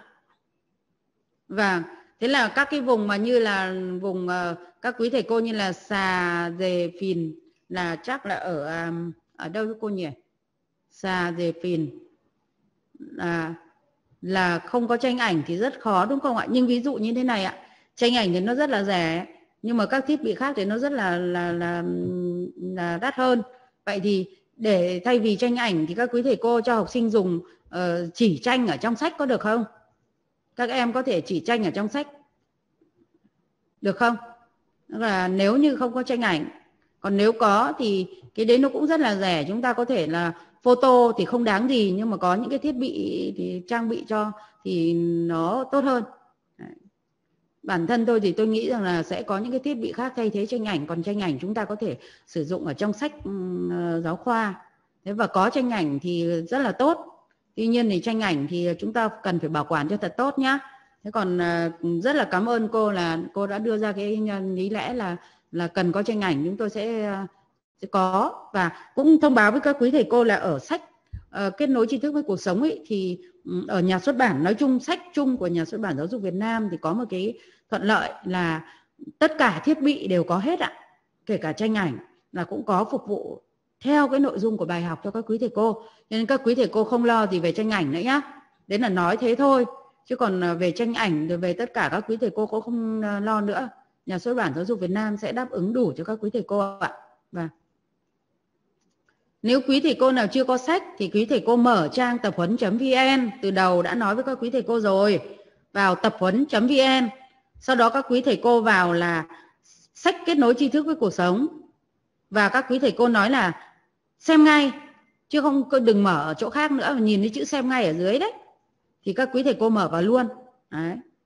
các quý mở vào đấy thì các quý thầy cô vào cái sách số 2 tức là cái số 1 từ số 1 đến số 10 là số là số lớp đấy là theo lớp, từ lớp 1 đến lớp 10 thì các quý thầy cô sẽ vào nhấn vào số 2 đấy là lớp 2 và các quý thầy cô vào sách giáo dục thể chất 2 khi mà nhấn vào đấy rồi, thì các quý thầy cô tìm ở trong đó là nó có cái sách giáo viên này, sách học sinh này, có tài liệu tập huấn này, có tất cả đủ hết. Kể cả là giải đáp những cái câu hỏi thắc mắc cho các quý thầy cô ở trong chúng ta cũng đã có rồi. Ờ, cái đánh giá thì các quý thầy cô chú ý là gồm có đánh giá thường xuyên và đánh giá định kỳ. Những tiết kia là dành là, là dành cho cả đánh giá định kỳ nữa. À. như đánh giá định kỳ à đánh giá là dành cho 10% thì phải. 10% đấy là 7 tiết đấy quý thầy cô. Các quý thầy cô sẽ cộng vào với cái ờ, quá trình à, giảng dạy. Các quý thầy cô nói chung ở trên trường thì cũng không hiểu là là là là cộng kiểu gì thì cái này nó do quản lý. Tôi cũng không nắm bắt được. Chỉ nắm bắt được cái nội quý thầy cô theo hướng dẫn. Tất cả là đều theo hướng dẫn hết các quý thầy cô nhé sẽ có hướng dẫn ờ, cụ thể cho các quý thầy cô. À có cái có cái này là rất nhiều ý kiến là sách giáo khoa ấy thì nên đổi cái chủ đề 3 lên chủ đề 2 thì cái này hoàn toàn là xác đáng và thực sự với các quý thầy cô là bản thân chúng tôi cũng thống nhất cái ý kiến với các quý thầy cô. Tuy nhiên thì chỉ cái ban xây dựng chương trình thì không phải là ừ, ban xây dựng chương trình là một ban khác ạ. Nhưng mà khi họ xây dựng chương trình thì cũng đã có cái ban thẩm định uh, nêu ra rồi nhưng không hiểu vì sao thì thẩm định lại vẫn để cái nội dung nó như thế. Nhưng mà các quý thầy cô cũng nên quan sát cái phía cuối của cái chương trình. Vì chương trình là pháp lệnh mà chúng ta cứ căn cứ hết vào chương trình để chúng ta thấy cái nội dung như thế nào và chúng tôi viết sách chúng tôi cũng căn cứ vào chương trình. Cho nên là uh, các quý thầy cô chú ý là xem ở cuối chương trình thì cũng có cái hướng dẫn rất là mở đấy ạ. Và các quý thầy cô hoàn toàn có quyền chủ động điều chỉnh cái chủ đề 2 lên chủ chủ đề 3 lên và chủ đề 2 sau. Và tôi thấy rằng thế cũng là ổn. Bởi lẽ là chúng ta học các cái tư thế cơ bản trước sau đó chúng ta học cái bài thể dục thì nó sẽ sẽ sẽ hay hơn. Và cảm ơn các quý thầy cô. À ở trong ờ, các quý thầy cô nói rằng là cái cái cái trò chơi nào cũng chi tiết nhưng mà trong trong sách giáo khoa ấy, đúng không ạ? Thì không có luật chơi với lại ờ, lại lại ờ, cách chơi các quý thầy cô chú ý này đối với sách các em là các em sẽ nó chỉ là hỗ trợ cho các em để các em luyện tập các em ôn tập. Nhưng mà cái bao nhiêu cái hướng dẫn thì ở trong sách giáo viên các quý thầy cô có đây. Ở trong sách giáo khoa có cái trò chơi ấy, thì chúng ta cũng các quý thầy cô là các tác giả đã rất rất rõ về luật chơi rồi gợi ý về luật chơi cách chơi ở trong sách giáo viên rồi các quý thầy cô ạ. Các quý thầy cô chú ý là sách giáo viên này này thì không có hình đâu. Cái hình ý thay bằng lời đấy cho nên các quý thầy cô chú ý là là là sẽ uh, à vâng. Cảm ơn các quý thầy cô.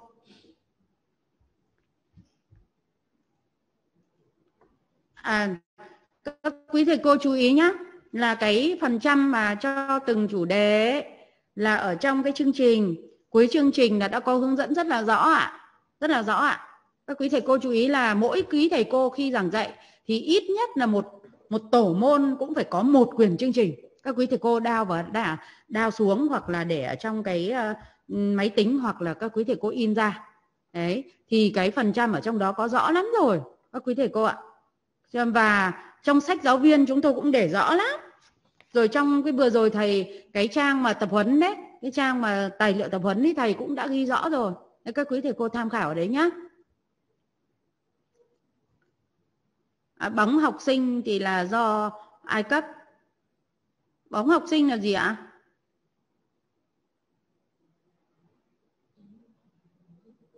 À cái bóng rổ cái gì ạ?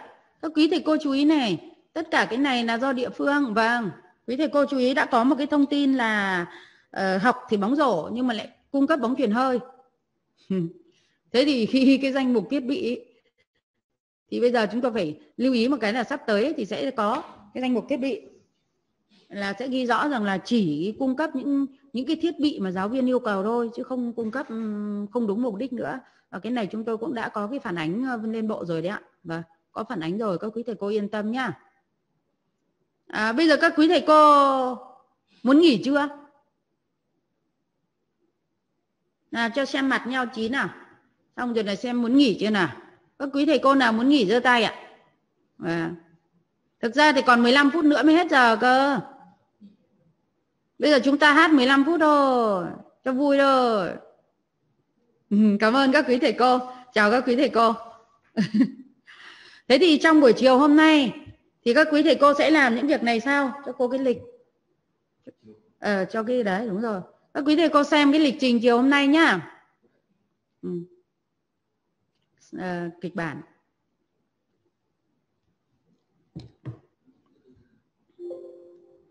Ừ, cô chưa nhấn à? các quý thầy cô xem kịch bản ạ. À. chưa chưa nghỉ đâu thầy cô ơi. Nhà em xa lắm hai ba cây? Ô buổi chiều một rưỡi mà cô. Buổi chiều một rưỡi sao đã về? Chiều một rưỡi thì sẽ sẽ nghỉ sớm mà nếu buồn nghỉ muộn là lại muộn đấy bởi vì 5 giờ mới hết cơ. Bấm nhá. Các quý thầy cô xem qua cái lịch buổi chiều chút đã xem lịch buổi chiều nhá. Được chưa?